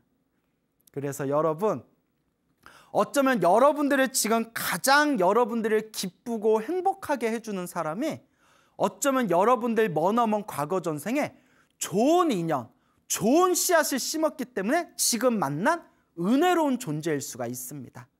만약에 지금 여러분 옆에서 속을 박박 끓고 여러분의 힘들고 괴롭고 답답하게 하는 그런 사람이 있다면 여러분들이 머나먼 과거 전생에 지었던 여러분들이 심어놓은 나쁜 인연의 씨앗일 수가 있습니다. 정말 이 부처님의 인연법은 중생의 생각으로는 다 헤아릴 수가 없습니다. 그러면 여러분, 지금 이 순간에는 우리는 과연 어떤 인연을 지어야 될까요? 여러분들은 지금 이 순간 좋은 인연을 짓고 계시나요? 나쁜 인연을 짓고 계시나요? 여러분들은 지금 이 순간 말로, 구업으로 혹시 다른 사람들을 괴롭히거나 힘들게 하거나 상처 주고 있지는 않습니까? 혹은 여러분들 몸으로써 온갖 나쁜 업을 지으면서 다른 사람들을 힘들고 괴롭고 답답하게 만들지는 않습니까? 여러분 꼭 명심하셔야 됩니다. 좋은 업도 나쁜 업도 다 내가 지은 인연법입니다. 그래서 부처님께서는 비난에도 칭찬에도 흔들리지 말아라 라고 설법하셨습니다. 여러분들이 수많은 사람들에게 비난을 받는다면 그 수많은 사람들에게 듣는 그 비난도 사실 내가 지은 인연법입니다. 내가 수많은 사람들에게 칭찬을 받는다면 수많은 사람들에게 사랑받고 칭찬받는 그것도 결국 내가 지은 인연법입니다. 다만 부처님께서는 비난도 집착하지 말고 칭찬에도 집착하지 말고 어리석은 자의 비난과 칭찬에는 귀 기울일 필요도 없이 오로지 묵묵하게 자신만의 수행의 길을 가라고 부처님께서 누누이 말씀하셨습니다. 이런 이야기를 하다 보니까 저는 전생에 복을 많이 지었나 봅니다. 정말 지금 이 순간에도 수많은 불자님들에게 정말 제가 분에 넘쳐서 다 갚지도 못할 사랑과 존경과 애정을 받고 있습니다. 수많은 사람들에게 많은 칭찬을 받고 있습니다. 물론 뒤에서 좀 안 좋은 소리도 들립니다. 뭐 광우 그놈이 뭐가 잘났다고 저렇게 뭐 이런 소리도 가끔 들리기는 합니다. 하지만 저를 아껴주시고 사랑해주시는 분들이 있어서 제가 더 힘이 나는 것 같습니다. 하지만 이것에 속아서는 안 됩니다. 사람 마음이라는 것은 항상 바람에 부는 갈대와 같습니다. 오히려 그 칭찬에 익숙해지고 사람들의 애정과 사랑에 익숙해지게 되면 저도 모르게 광우 스님의 마음 안에 교만심과 자만심이 생기게 될 겁니다. 오히려 사람들의 칭찬을 받고 교만심과 자만심이 생기는 것 그것 자체가 저를 오히려 좋지 못한 불행의 세계로 이끄는 업보가 되겠죠. 그래서 저도 항상 겸손하려고 노력하는데 그게 잘 안 됩니다. 저도 수행이 부족한지 겸손하자 겸손하자 해도 제 마음에서 알게 모르게 자만심이 생겨나는 것을 느낄 때가 있습니다. 하지만 이럴 때마다 스스로 되뇌어 봅니다. 사람들의 비난에도 집착하지 말고 사람들의 칭찬에도 집착하지 말자. 오직 지금 이 순간 복과 선업과 공덕을 쌓으면서 묵묵히 수행의 길을 걷자라고 항상 되뇌이고 있습니다. 많이 많이 부족하지만 항상 그렇게 되새기고 있습니다. 여러분, 누군가 여러분들을 욕했다 하더라도 너무 귀 기울이지 마세요. 누군가 여러분들에게 막 잘났다 잘났다 칭찬하더라도 절대 그것에 속아 넘어가지 마세요. 비난에도 칭찬에도 흔들림 없는 무소의 뿔과 같이 외뿔소의 뿔과 같이 묵묵하게 자신의 수행의 길을 묵묵하게 꾸준히 닦아 나아가시기 바랍니다.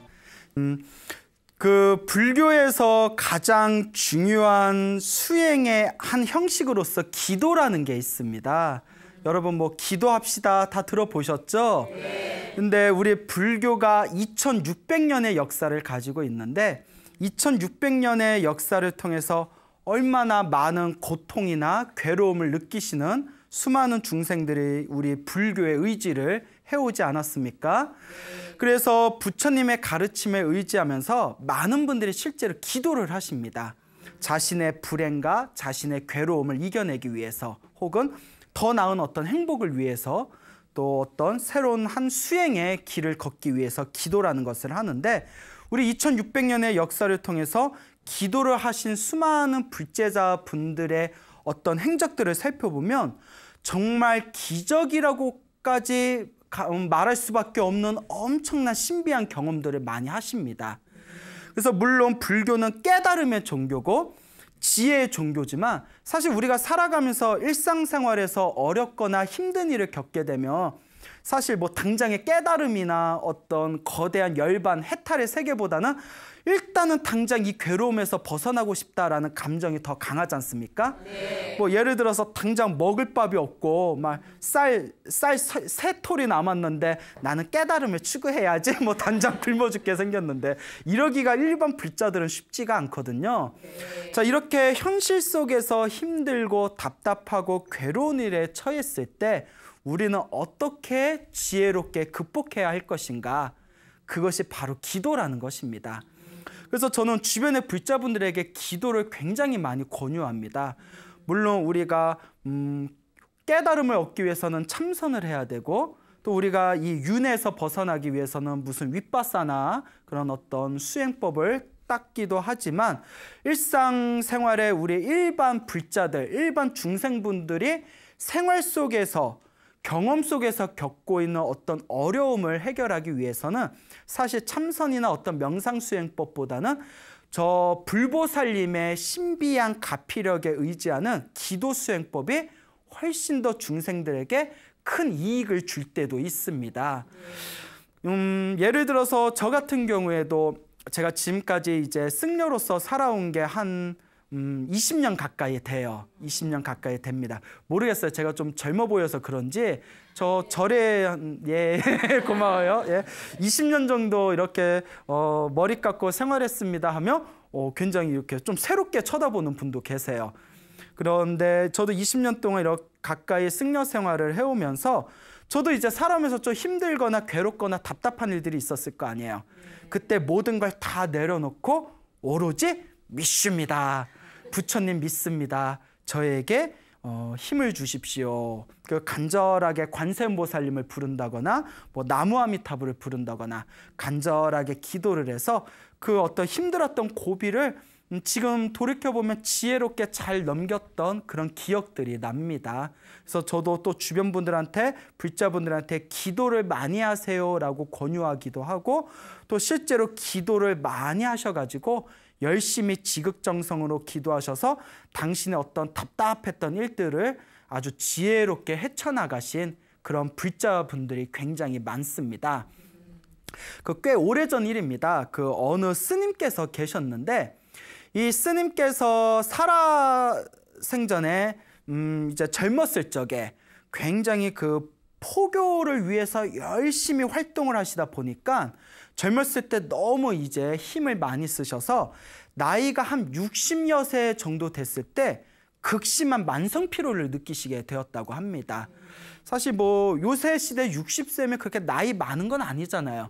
요새 이렇게 너무나 정정해 보이시고 활기찬 그런 불자님이 계셔서 이렇게 대화하다가 연세가 어떻게 되세요? 했는데 와 뭐 이번 70대 후반입니다 하면 제가 깜짝깜짝 놀랄 때가 있어요. 그래서 정말 요새는 60은 나이도 아니구나.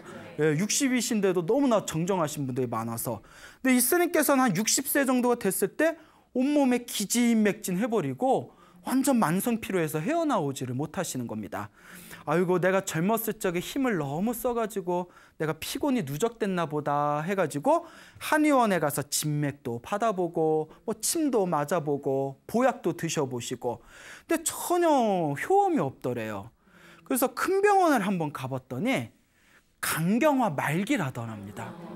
근데 지금 현대 의학에서도 강경화 말기면 굉장히 조금 치료하기가 쉽지는 않은 질병이지 않습니까? 근데 그게 이게 이 이야기가 한 몇십 년 전 얘기니까 그때 강경하면 얼마나 좀 치명적인 병이었겠어요.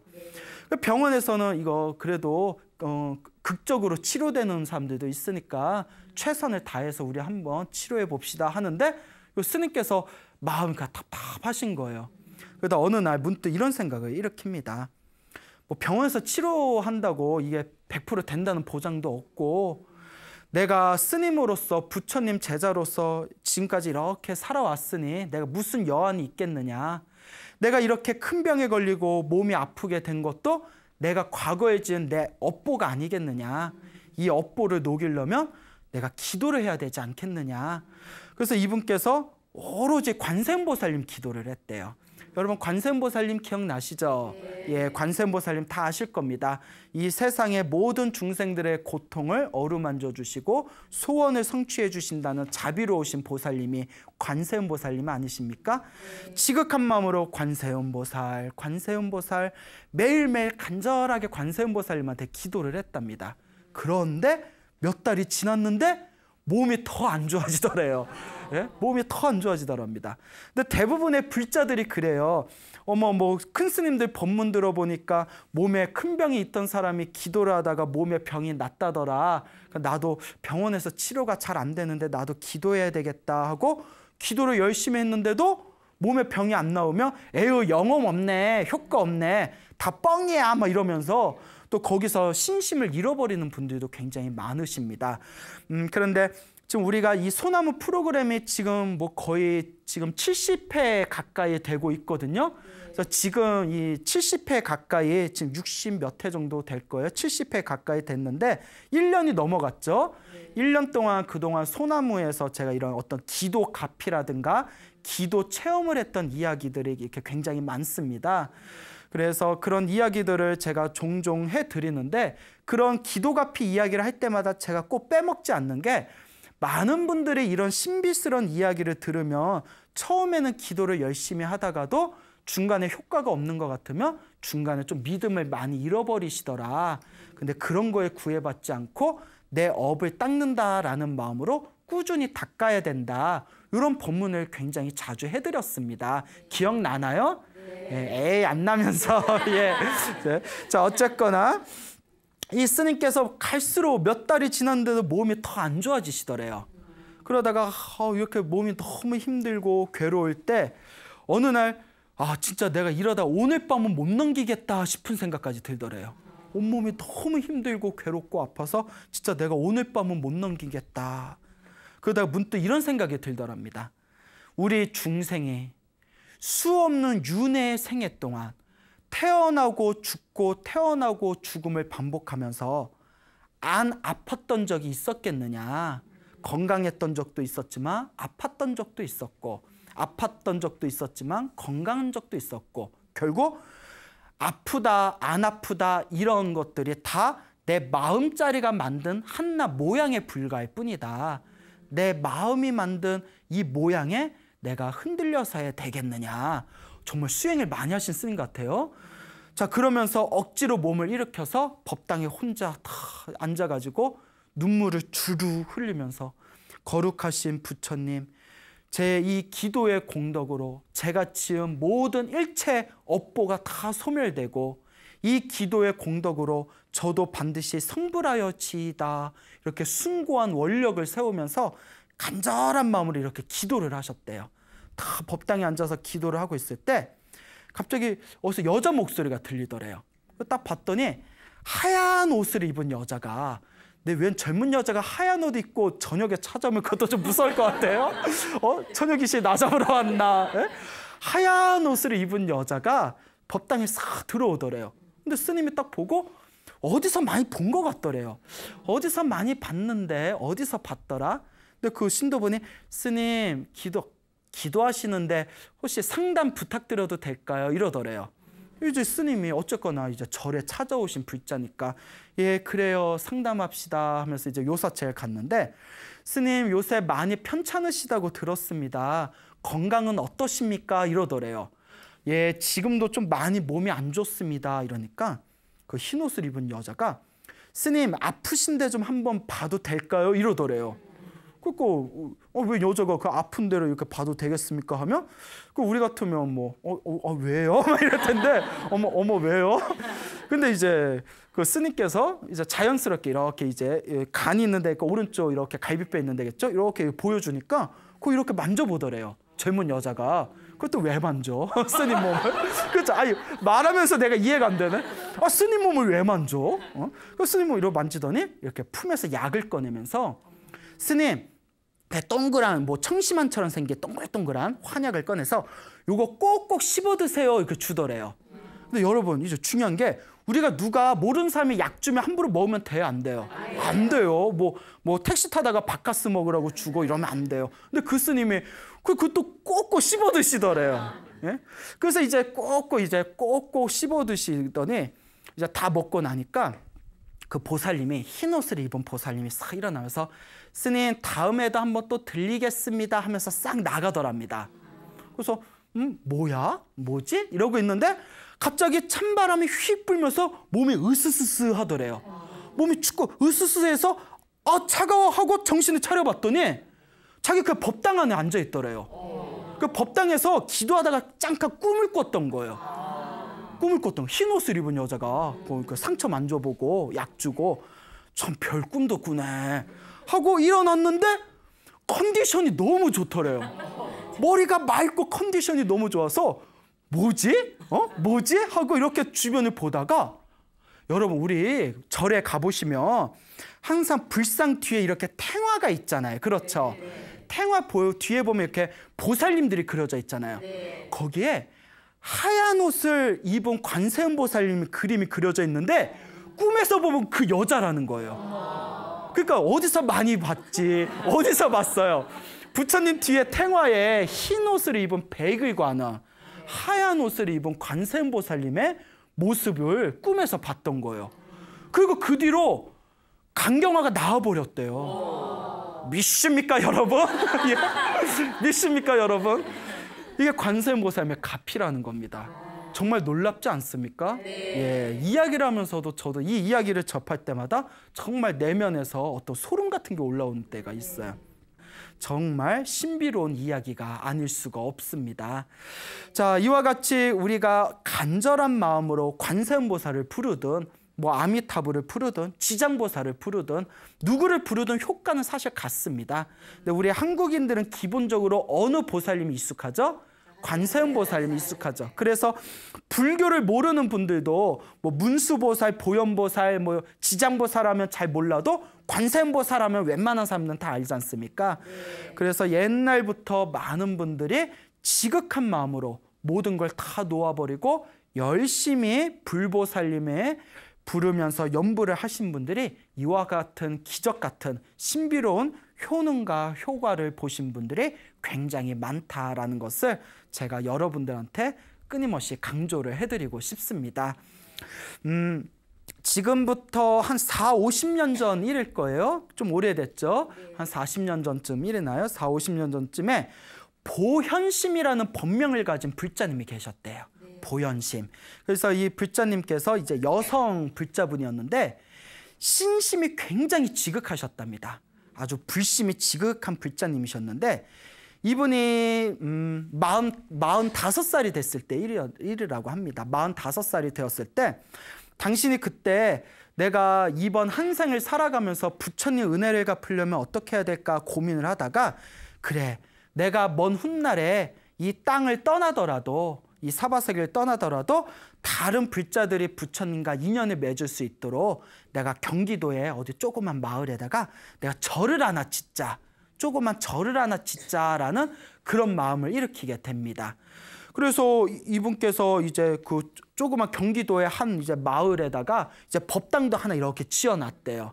법당을 지어놓고 이제 불사를 본격적으로 시작하려고 마음을 먹었을 때 자기하고 친분이 있는 어느 분께서 그 이제 뭐그 암, 암 검진을 받으셨대요. 이제 암 검진을 받으시고 암 검진 받은 그 친구분이 야 요새 세상 일은 몰라 나 받는 김에 너도 좀 받아봐 어, 받으면 좋잖아 해서 친한 친구가 그렇게 권유를 하길래 그때 잘 마흔다섯 살이었을 때 그 친하게 지내는 큰 그 대학병원에 그 유명하신 교수님하고 이제 그 이제 인연이 돼가지고 그 건강 검진을 받았는데 결과가 자궁암이 나왔대요. 자궁암. 그래서 그 당시 4, 50년 전이면 지금도 암 고치기 엄청 힘들잖아요. 그 당시 자궁암이니까 그 의사가 이렇게 정밀 검진을 다 한 뒤에 수술을 합시다라고 의사가 이야기를 했답니다. 수술을 합시다. 고민 고민 하더래요. 이분이 이 보현신 보살님이 그러다가 문득 음, 왠지 부처님한테 그 기도하고 싶은 생각이 들더랍니다. 그래서 이제 몸에 이제 의사가 권유한 대로 이제 수술도 하는 게 맞겠지만 그냥 다 모든 걸 놓아버리고 오로지 부처님한테 기도하고 싶다라는 그런 생각이 들더래요. 그래서 이분께서 전국의 사찰을 돌면서 전국의 이름만 대면 알만한 크고 작은 모든 사찰들을 이제 당신의 여행을 떠나면서 절에서 열심히 기도를 올렸답니다. 근데 기도를 올리면서 절대 자기 병이 낫게 해주세요라는 기도는 올리지 않았답니다. 오직 부처님 살면 살고 죽으면 죽는 거 아니겠습니까? 다만 저 죽기 전에 제가 시작한 이 불사 이 절이 완공되게 해주시옵고 저랑 인연 있는 우리 신도분들과 불자님들이 큰 복을 얻게 해주십시오. 오직 그것만 기도했대요. 제가 지금 짓고 있는 우리 절, 제가 지금 불사하는 절이 완공이 잘 되게 해주시옵고 도움을 주시옵고 우리 신도분들 불자님들 복받게 해주세요 라는 기도만 하고 자기 병이 낫게 해주세요 라는 기도는 아예 꺼내지도 않았대요. 그것도 참 대단하죠. 그렇게 계속 기도를 했답니다. 그리고 그분 고향에 저 남해 보리암 쪽에 고향이 있었대. 보리암 아세요? 보리암? 예. 그도 아시네. 그 보리암에 관세음보살님의 가피가 있다는 유명한 도량이지 않습니까? 그래서 남해 보리암에 가서는 3일 동안 거의 잠을 자지 않고 철야로 3일 동안 관세음보살님 기도를 했대요. 그래서 계속 관세음보살, 관세음보살 연부를 하다 보니까 나중에는 그냥 차를 타고 가만히 앉아 있어도 저절로 관세음보살 연불이 나왔답니다. 그렇게 전국의 크고 작은 기도 도량을 돌아다니면서 오직 기도만 올렸대요. 하지만 병이 낫게 해주세요라는 기도는 안 올렸답니다. 오로지 오로지 제가 이 세상을 떠나기 전에 부처님 도량 짓는 거 제발 도와주십시오. 라는 공적인 공심의 마음으로 기도를 했는데 자기가 그때 검진을 받은 게 3월 달이었대요.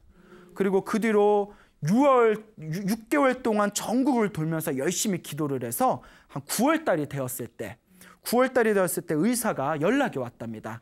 우리 이 정밀 검진 한번 다시 한번 받아봅시다. 뭐 암이 얼만큼 전이 됐는지 이렇게 치료를 늦출 게 아니라 의사도 좀 걱정이 되지 않았겠습니까? 그래서 3월 달에 첫 번째 검사를 받고 자궁암이라고 판명을 받은 뒤에 나 이제 6개월 후에 이제 병원에 가서 9월 달에 2차 정밀 검사를 받았는데 이미 여러분들 초기 오셨죠? 기적 같은 일이 생긴 거예요. 사진에 깨끗하더래요.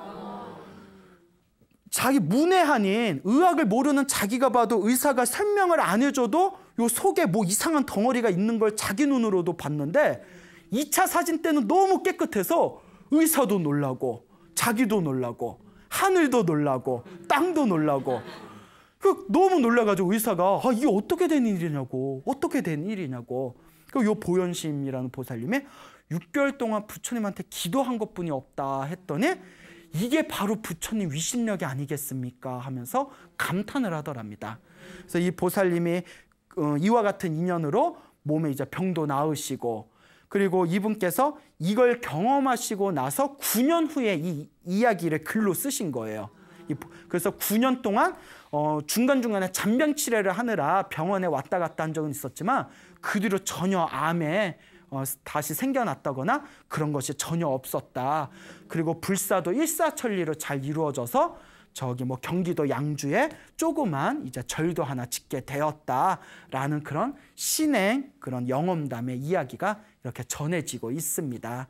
자, 이와 같이 우리가 간절하게 기도하고 정말 관세음보살님을 믿고 또 뭐 관세음보살님이 아니더라도 좋습니다. 아미타불을 부르든 지장보살을 부르든 간절한 마음으로 내 마음의 욕심을 놓아버리고 오로지 기도에 집중했을 때 우리 인간의 무의식은 이와 같은 엄청난 신비로운 기적을 만들어낼 수가 있는 것입니다.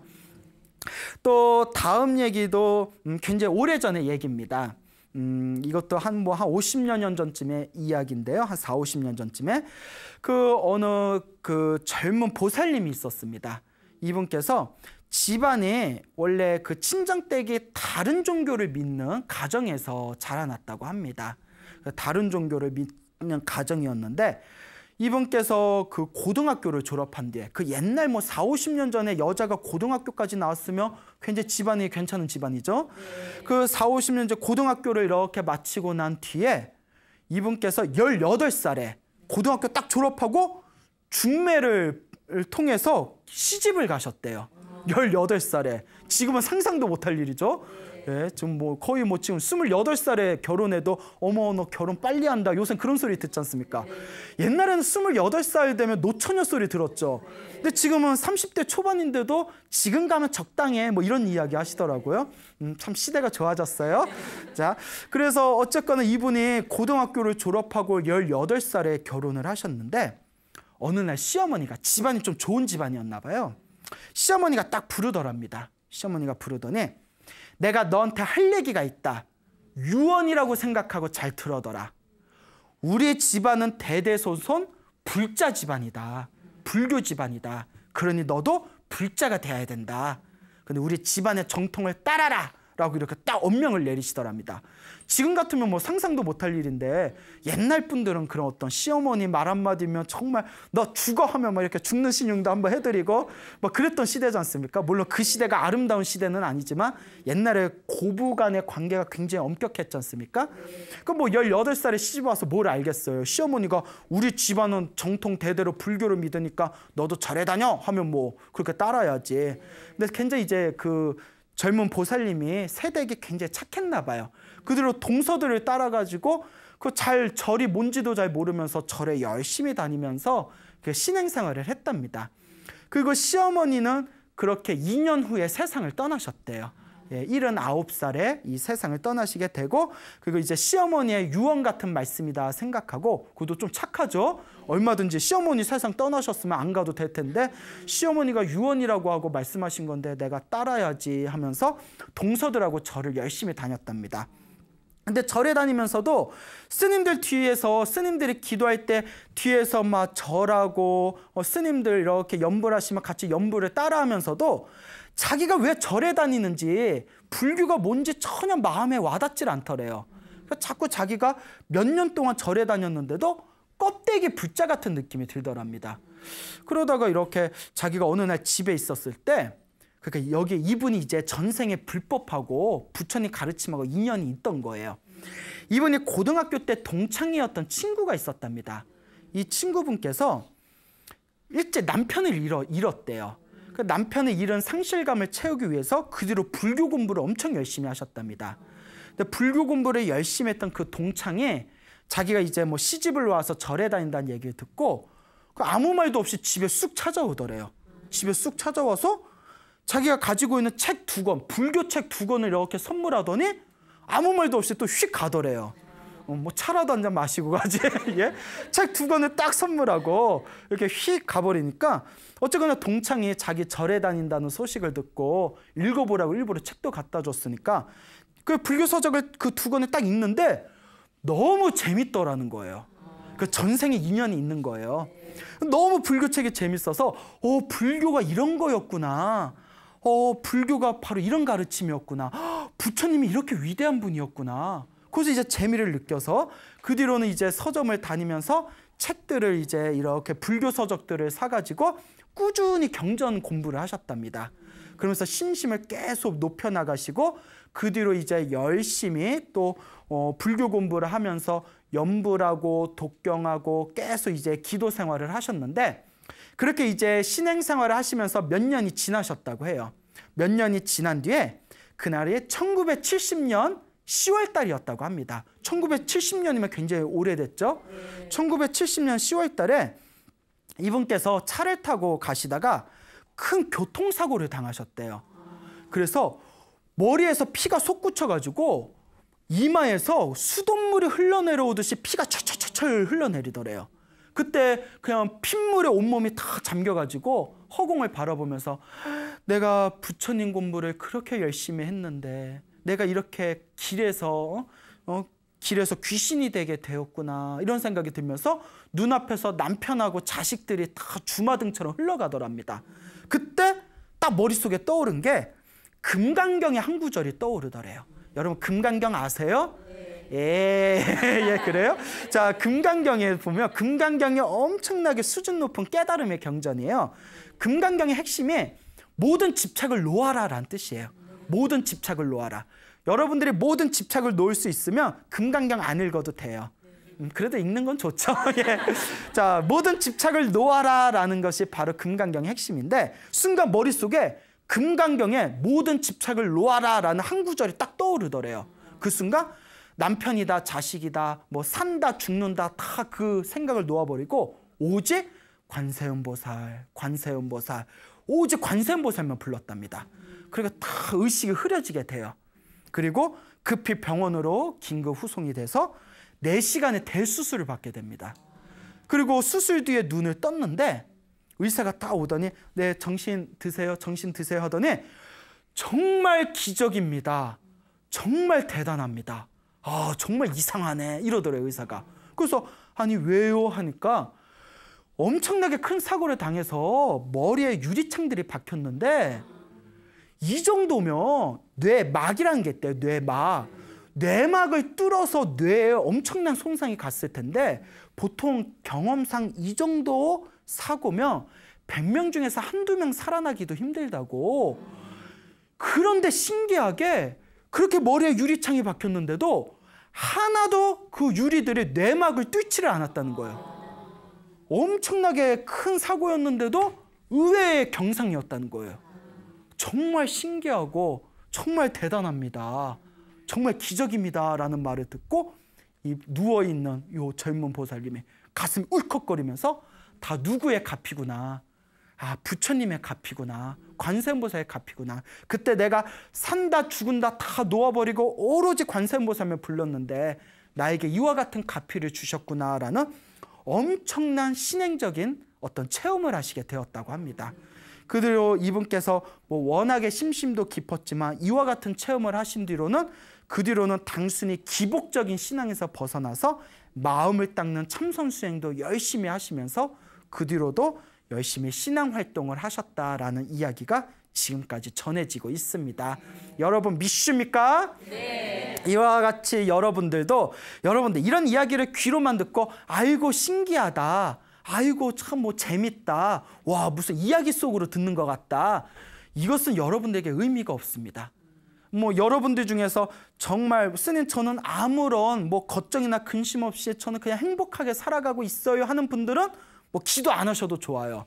사실 해야 되지만 하지만 여러분들 중에서 스님 저도 살다 보니까 좀 답답한 것도 있고 좀 뭐 장애도 있고 좀 일이 잘 안 풀리는 것도 있습니다. 근데 사람 살다 보면 그런 거 다 있지 않나요? 네. 그 어느 사주팔자를 공부하시던 분이 있었어요. 이 사주팔자 공부하시던 분들이 열심히 공부를 하다 보니까 입소문이 나가지고 나중에 좀 유명한 사람들까지 찾아오더래요. 근데 그분이 유명한 사람들 상담을 받고 나서 딱 깨달은 게 와, 세상에 밖에서 보면 저렇게 아무 걱정 없이 행복하게 보이는 사람들도 다들 자기들만의 엄청난 고민들을 안고 있구나. 라는 걸 깨달았다고 합니다. 그 우리가 너무 남 어, 이렇게 막 부러워할 필요 있어요? 없어요. 없어요. 다 말을 안 해서 그렇지. 다 자기들만의 하나씩 고민들이 있습니다. 여러분들도 살아가면서 답답하거나 풀리지 않은 일이 있으면 내가 기도를 하면 이 일이 반드시 풀린다라는 집착도 놓아버리고 다 내가 지은 업보다라는 마음으로 기도로서 여러분들의 그 업보를 녹여나가시기 바랍니다. 당장은 효과가 없는 것 같아도 여러분들이 꾸준히 꾸준히 기도하신다면 반드시 여러분들도 이와 같은 묘한 불보살님의 기도의 가피를 맛보고 체험할 수 있는 기회를 얻게 되실 겁니다. 자, 그 어느 보살님이 계셨는데 이 보살님이 그 어느 스님을 큰 스님을 이렇게 찾아와서 상담을 하셨답니다. 근데 이 스님께서 그 찾아오신 그 중년의 부인을 딱 봤는데 얼굴에 새까만 기미가 가득하고 얼굴이 너무나 탁하고 어둡고 그늘지고 도저히 밝은 기운이 없더래요. 어, 한마디로 이제 관상이 관상이 너무 안 좋더래요. 그래서 어, 무슨 일로 찾아왔습니까? 하고 질문을 하니까 음, 우리 아들 때문에 찾아왔습니다. 이러더래요. 아니, 아들이 왜요? 제가 자식이 있는데 삼남매가 있습니다. 위로 큰 딸이 있고 밑으로 아들 둘이 있는데 큰 아들이 몇 개월 전에 가슴하고 옆구리가 아프다 아프다 해서 병원에 갔더니 늑막염이더래요. 그래서 늑막염에서 처음에 병원에서 어, 뭐 치료하면 괜찮습니다 했는데 물을 빼고 아무리 치료를 해도 지금 4개월 동안 아무런 차도가 없더라는 거예요. 여러분 늑막염이 4개월 동안 낫지 않으면 그것도 되게 골치 아픈 겁니다. 우리 큰아들이 지금 중3이고 지금 열심히 공부해서 내년에는 고등학교 들어가야 되는데 지금 몸이 너무 안 좋아서 지금 휴학을 한 상태입니다. 이러더래요. 여러분들 다들 아시겠지만 그 시기에 1년이라도 휴학한 것은 굉장히 치명적인 거거든요. 나중에 다시 학교 복학해도 뭐 나이 그런 것도 있고 그 부인이 너무너무 걱정을 하더랍니다. 가만히 보니까 이 스님이 짚히는 게 있더래요. 보살님, 아들이 이렇게 아프고 병이 잘 안 나는 거는 아들만의 문제가 아닌 것 같습니다. 보살님 얼굴을 보니까 보살님 업보도 문제가 있는 것 같아요. 보살님 지금 굉장히 마음이 편안하지 못하고 집안에 어, 굉장히 그 집안의 기운이 맑고 밝지를 못한 것 같습니다. 집안에 무슨 사정이 있습니까? 하고 질문을 던지니까 그 보살님이 실은 우리 남편이 뭐 이렇게 좋은 그럴듯한 회사에 뭐 임원으로 있고 저도 뭐 남부럽지 않게 이렇게 살림을 하면서 살아왔는데 그런데 제가 그 개를 하게 되었는데 개 아시죠? 그 엄청난 고액의 개를 했는데 그 개가 갑자기 깨져버렸다는 거예요. 문제는 그 개가 깨지고 이런저런 상황에서 자기가 엄청난 빚을 지게 되었답니다. 그럼 큰 빚을 지니까 그 빚을 갚는 과정에서 뭐 집을 팔아서 전세로 집을 옮겼대요. 뭐 빚을 얼마나 졌길래 그렇게 했을까요? 뭐 엄청난 고액의 개를 했나 봐요. 그, 그 와중에서 남편은 막 속은 끓는데 뭐 그냥 아무 말도 없고 남편이 아무 말도 없고 꿍하고 있으니까 자기는 더 미안하고 민망하고 차라리 더 어, 괴롭고 차라리 몇 대 이렇게 후려 갈기고 어? 너나 때렸으니까 퉁치자 뭐 이랬으면 속이라도 편할 텐데요. 예. 근데 더 문제는 자식들이 삐뚤어지더라는 거예요. 자꾸 자식들이 원망설인 날카로운 말을 하고 막 원망 섞인 말을 하니까 자기가 완전 지옥 같은 심정이라는 거예요. 그러니까 아이들이 자꾸 삐뚤어지고 엄마 마음 몰라주고 뭐 엄마도 잘 살아보자고 했지. 그게 뭐 일부러 그렇겠습니까? 그러면서 막 그렇게 이제 한동안 세월이 지나면서 그렇게 마음이 지옥같이 답답하고 괴로우니까 그의 얼굴에도 영향을 미치는 겁니다. 우리 주변에 보면 뭐 항상 즐겁고 편안한 사람들은 얼굴도 좀 환해 보이고 뭔가 집안에 우아한이 있는 사람은 얼굴에서도 막, 막 비, 뭐 빗줄기가 떨어지는 것처럼 막 그늘져 있지 않습니까? 그렇죠. 자, 그러니까 이 이야기를 가만히 들으신 스님께서 엄마의 그 어두운 탁한 에너지 때문에 아들이 저렇게 빨리 낫지를 못하는 겁니다. 먼저 어머님의 마음이 바뀌어야 됩니다. 자, 지금부터 마음에 있는 모든 원망하는 마음을 다 놓아버리십시오. 그 배신당하고 돈 떼었다는 것도 다 놓아버리십시오. 전생에 내가 빚을 진 게 있는데 이번 생에 그 빚을 갚았다 생각하고 더 이상 마음에 떠올리지 마십시오. 그리고 지금부터 마음을 다 편안하게 내려놓으시고 오직 염불 하십시오. 염불하면서 마음속으로 부처님 감사합니다. 부처님 감사합니다. 계속 감사합니다라는 마음을 일으키십시오. 이렇게 염불하고 부처님 감사합니다라는 마음을 계속 일으킨다면 이제 어, 아들 되시는 분도 병이 빨리 나을 것이고 집안도 편안해질 겁니다 라고 조언을 하더랍니다. 근데 우리가 그 불자들을 보면 음, 뭐 이렇게 상담하러 오시는 분들을 보면 복이 많다, 복이 적다라는 표현을 씁니다. 그 중에 하나가 전생에 그래도 불법하고 인연이 있고 복이 많은 분들은 기도를 시키면 열심히 해요. 근데 정말 업장이 두꺼운 분들은 자기가 기도하면 좋다는 걸 알면서도 막상 기도시키면 한다 안 한다 잘 안 해요. 내 업장에 내 업보가 내가 기도를 못하게 뒤흔드는 거예요. 그러니까 실제로 주변에 그런 분들이 많아요. 스님 제가 기도를 열심히 해야 되는데 기도가 잘 안 돼요. 그럼 솔직하게 얘기해 드립니다. 보살님이 업장이 두꺼워서 그런 거라고. 어머 제가 뭐가 그리 두껍다고 업장이 두껍다고 하세요? 이러면 기도하면 좋다는 걸 알면서 기도를 못하게 보살님 마음을 뒤흔드는 그놈의 업장이 두꺼운 업장이라고. 그러면 다들 인정을 하십니다. 그러니까 108배 하면 좋다는 거 다 알아요. 근데 막상 하기 전까지는 에이구 그거 응? 아이고 귀찮아라는 생각이 들고 자 요렇게 우리 중생들 마음에는 내가 기도하고 선업을 짓는 것을 장애하는 업보들이 있습니다. 근데 이분은 다행히 전생에 불법과 인연이 있고 복이 있었는지 그대로 열심히 기도를 하셨대요. 그리고 계속 부처님 감사합니다. 부처님 감사합니다. 라는 마음을 계속 일으켰답니다.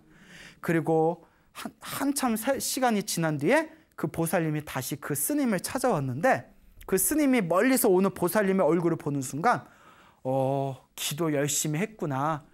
그 시커먼 기운이 다 사라지고 얼굴이 환하게 맑고 밝아져 있더래요. 그래서 딱 이렇게 자리에 앉기도 전에 아들이 다 낳았죠? 하니까 그 보살님이 환하게 웃으면서 스님이 가르쳐 주신 대로 열심히 기도했더니 아들이 4개월 동안 낳지 않았던 아들이 2주일 만에 다 나왔습니다. 이런 이야기를 하더랍니다. 믿습니까, 여러분? 예, 믿음을 가지시길 바랍니다. 물론 여러분, 제가 이와 같이 기도를 통해서 질병을 이겨내신 분들의 이야기를 드렸지만 제가 항상 강조하는 이야기가 있습니다. 여러분, 약은 누구에게? 약사에게. 병은 누구에게? 의사에게. 그래서 몸에 병이 있으면 어, 광우 스님이 기도하면 낫는다고 했는데 병원 안 가고 기도해야지? 이러면 돼요, 안 돼요? 안 됩니다. 예, 절대 안 돼요. 그래서 몸에 병이 있으면 의사의 현대적인 의학의 도움을 받으면서 기도를 해준다면 분명히 더 큰 이익이 있을 것이다. 저는 그걸 강조하고 싶었던 거죠. 그리고 우리 불자들이 기도하면서 절대 놓쳐서는 안 되는 중요한 핵심이 있습니다. 많은 분들이 처음에는 열심히 기도하는데 효과가 없는 것 같으면 중간에 그만두는 경우가 있습니다. 근데 제가 항상 소나무를 통해서 말씀드리죠. 전생에 지어놓은 복이 많으면 이번 생에 조금만 기도해도 효과를 바로바로 바로 봅니다. 근데 전생에 지어놓은 복이 없으면 이번 생에 기도를 많이 해도 효과가 더디게 옵니다. 그것도 결국 누가 지은 업이에요. 내가 지은 업보대로 기도도 효과가 일어나고 더디게 일어나는 것입니다. 그러니까 기도를 열심히 했는데도 효과가 없는 것 같으면 아이고 내가 전생에 지지리도 복을 안 줬나 보다. 하지만 지금부터라도 내가 전생에 지었던 나쁜 에너지는 정화하고 지금부터라도 내가 열심히 기도를 통해서 내 공덕을 쌓겠다라는 마음으로 한번 열심히 기도해 보시길 바랍니다. 알겠죠? 네. 여러분, 행복해지고 싶습니까? 네. 행복을 창조하고 싶습니까? 네. 복을 지으십시오. 선업을 지으십시오. 공덕을 쌓으십시오. 복과 선업과 공덕의 힘이 여러분들을 진정한 행복의 길로 이끌어 줄 것입니다. 여기서 마치겠습니다. 소중한 나. 원행복. you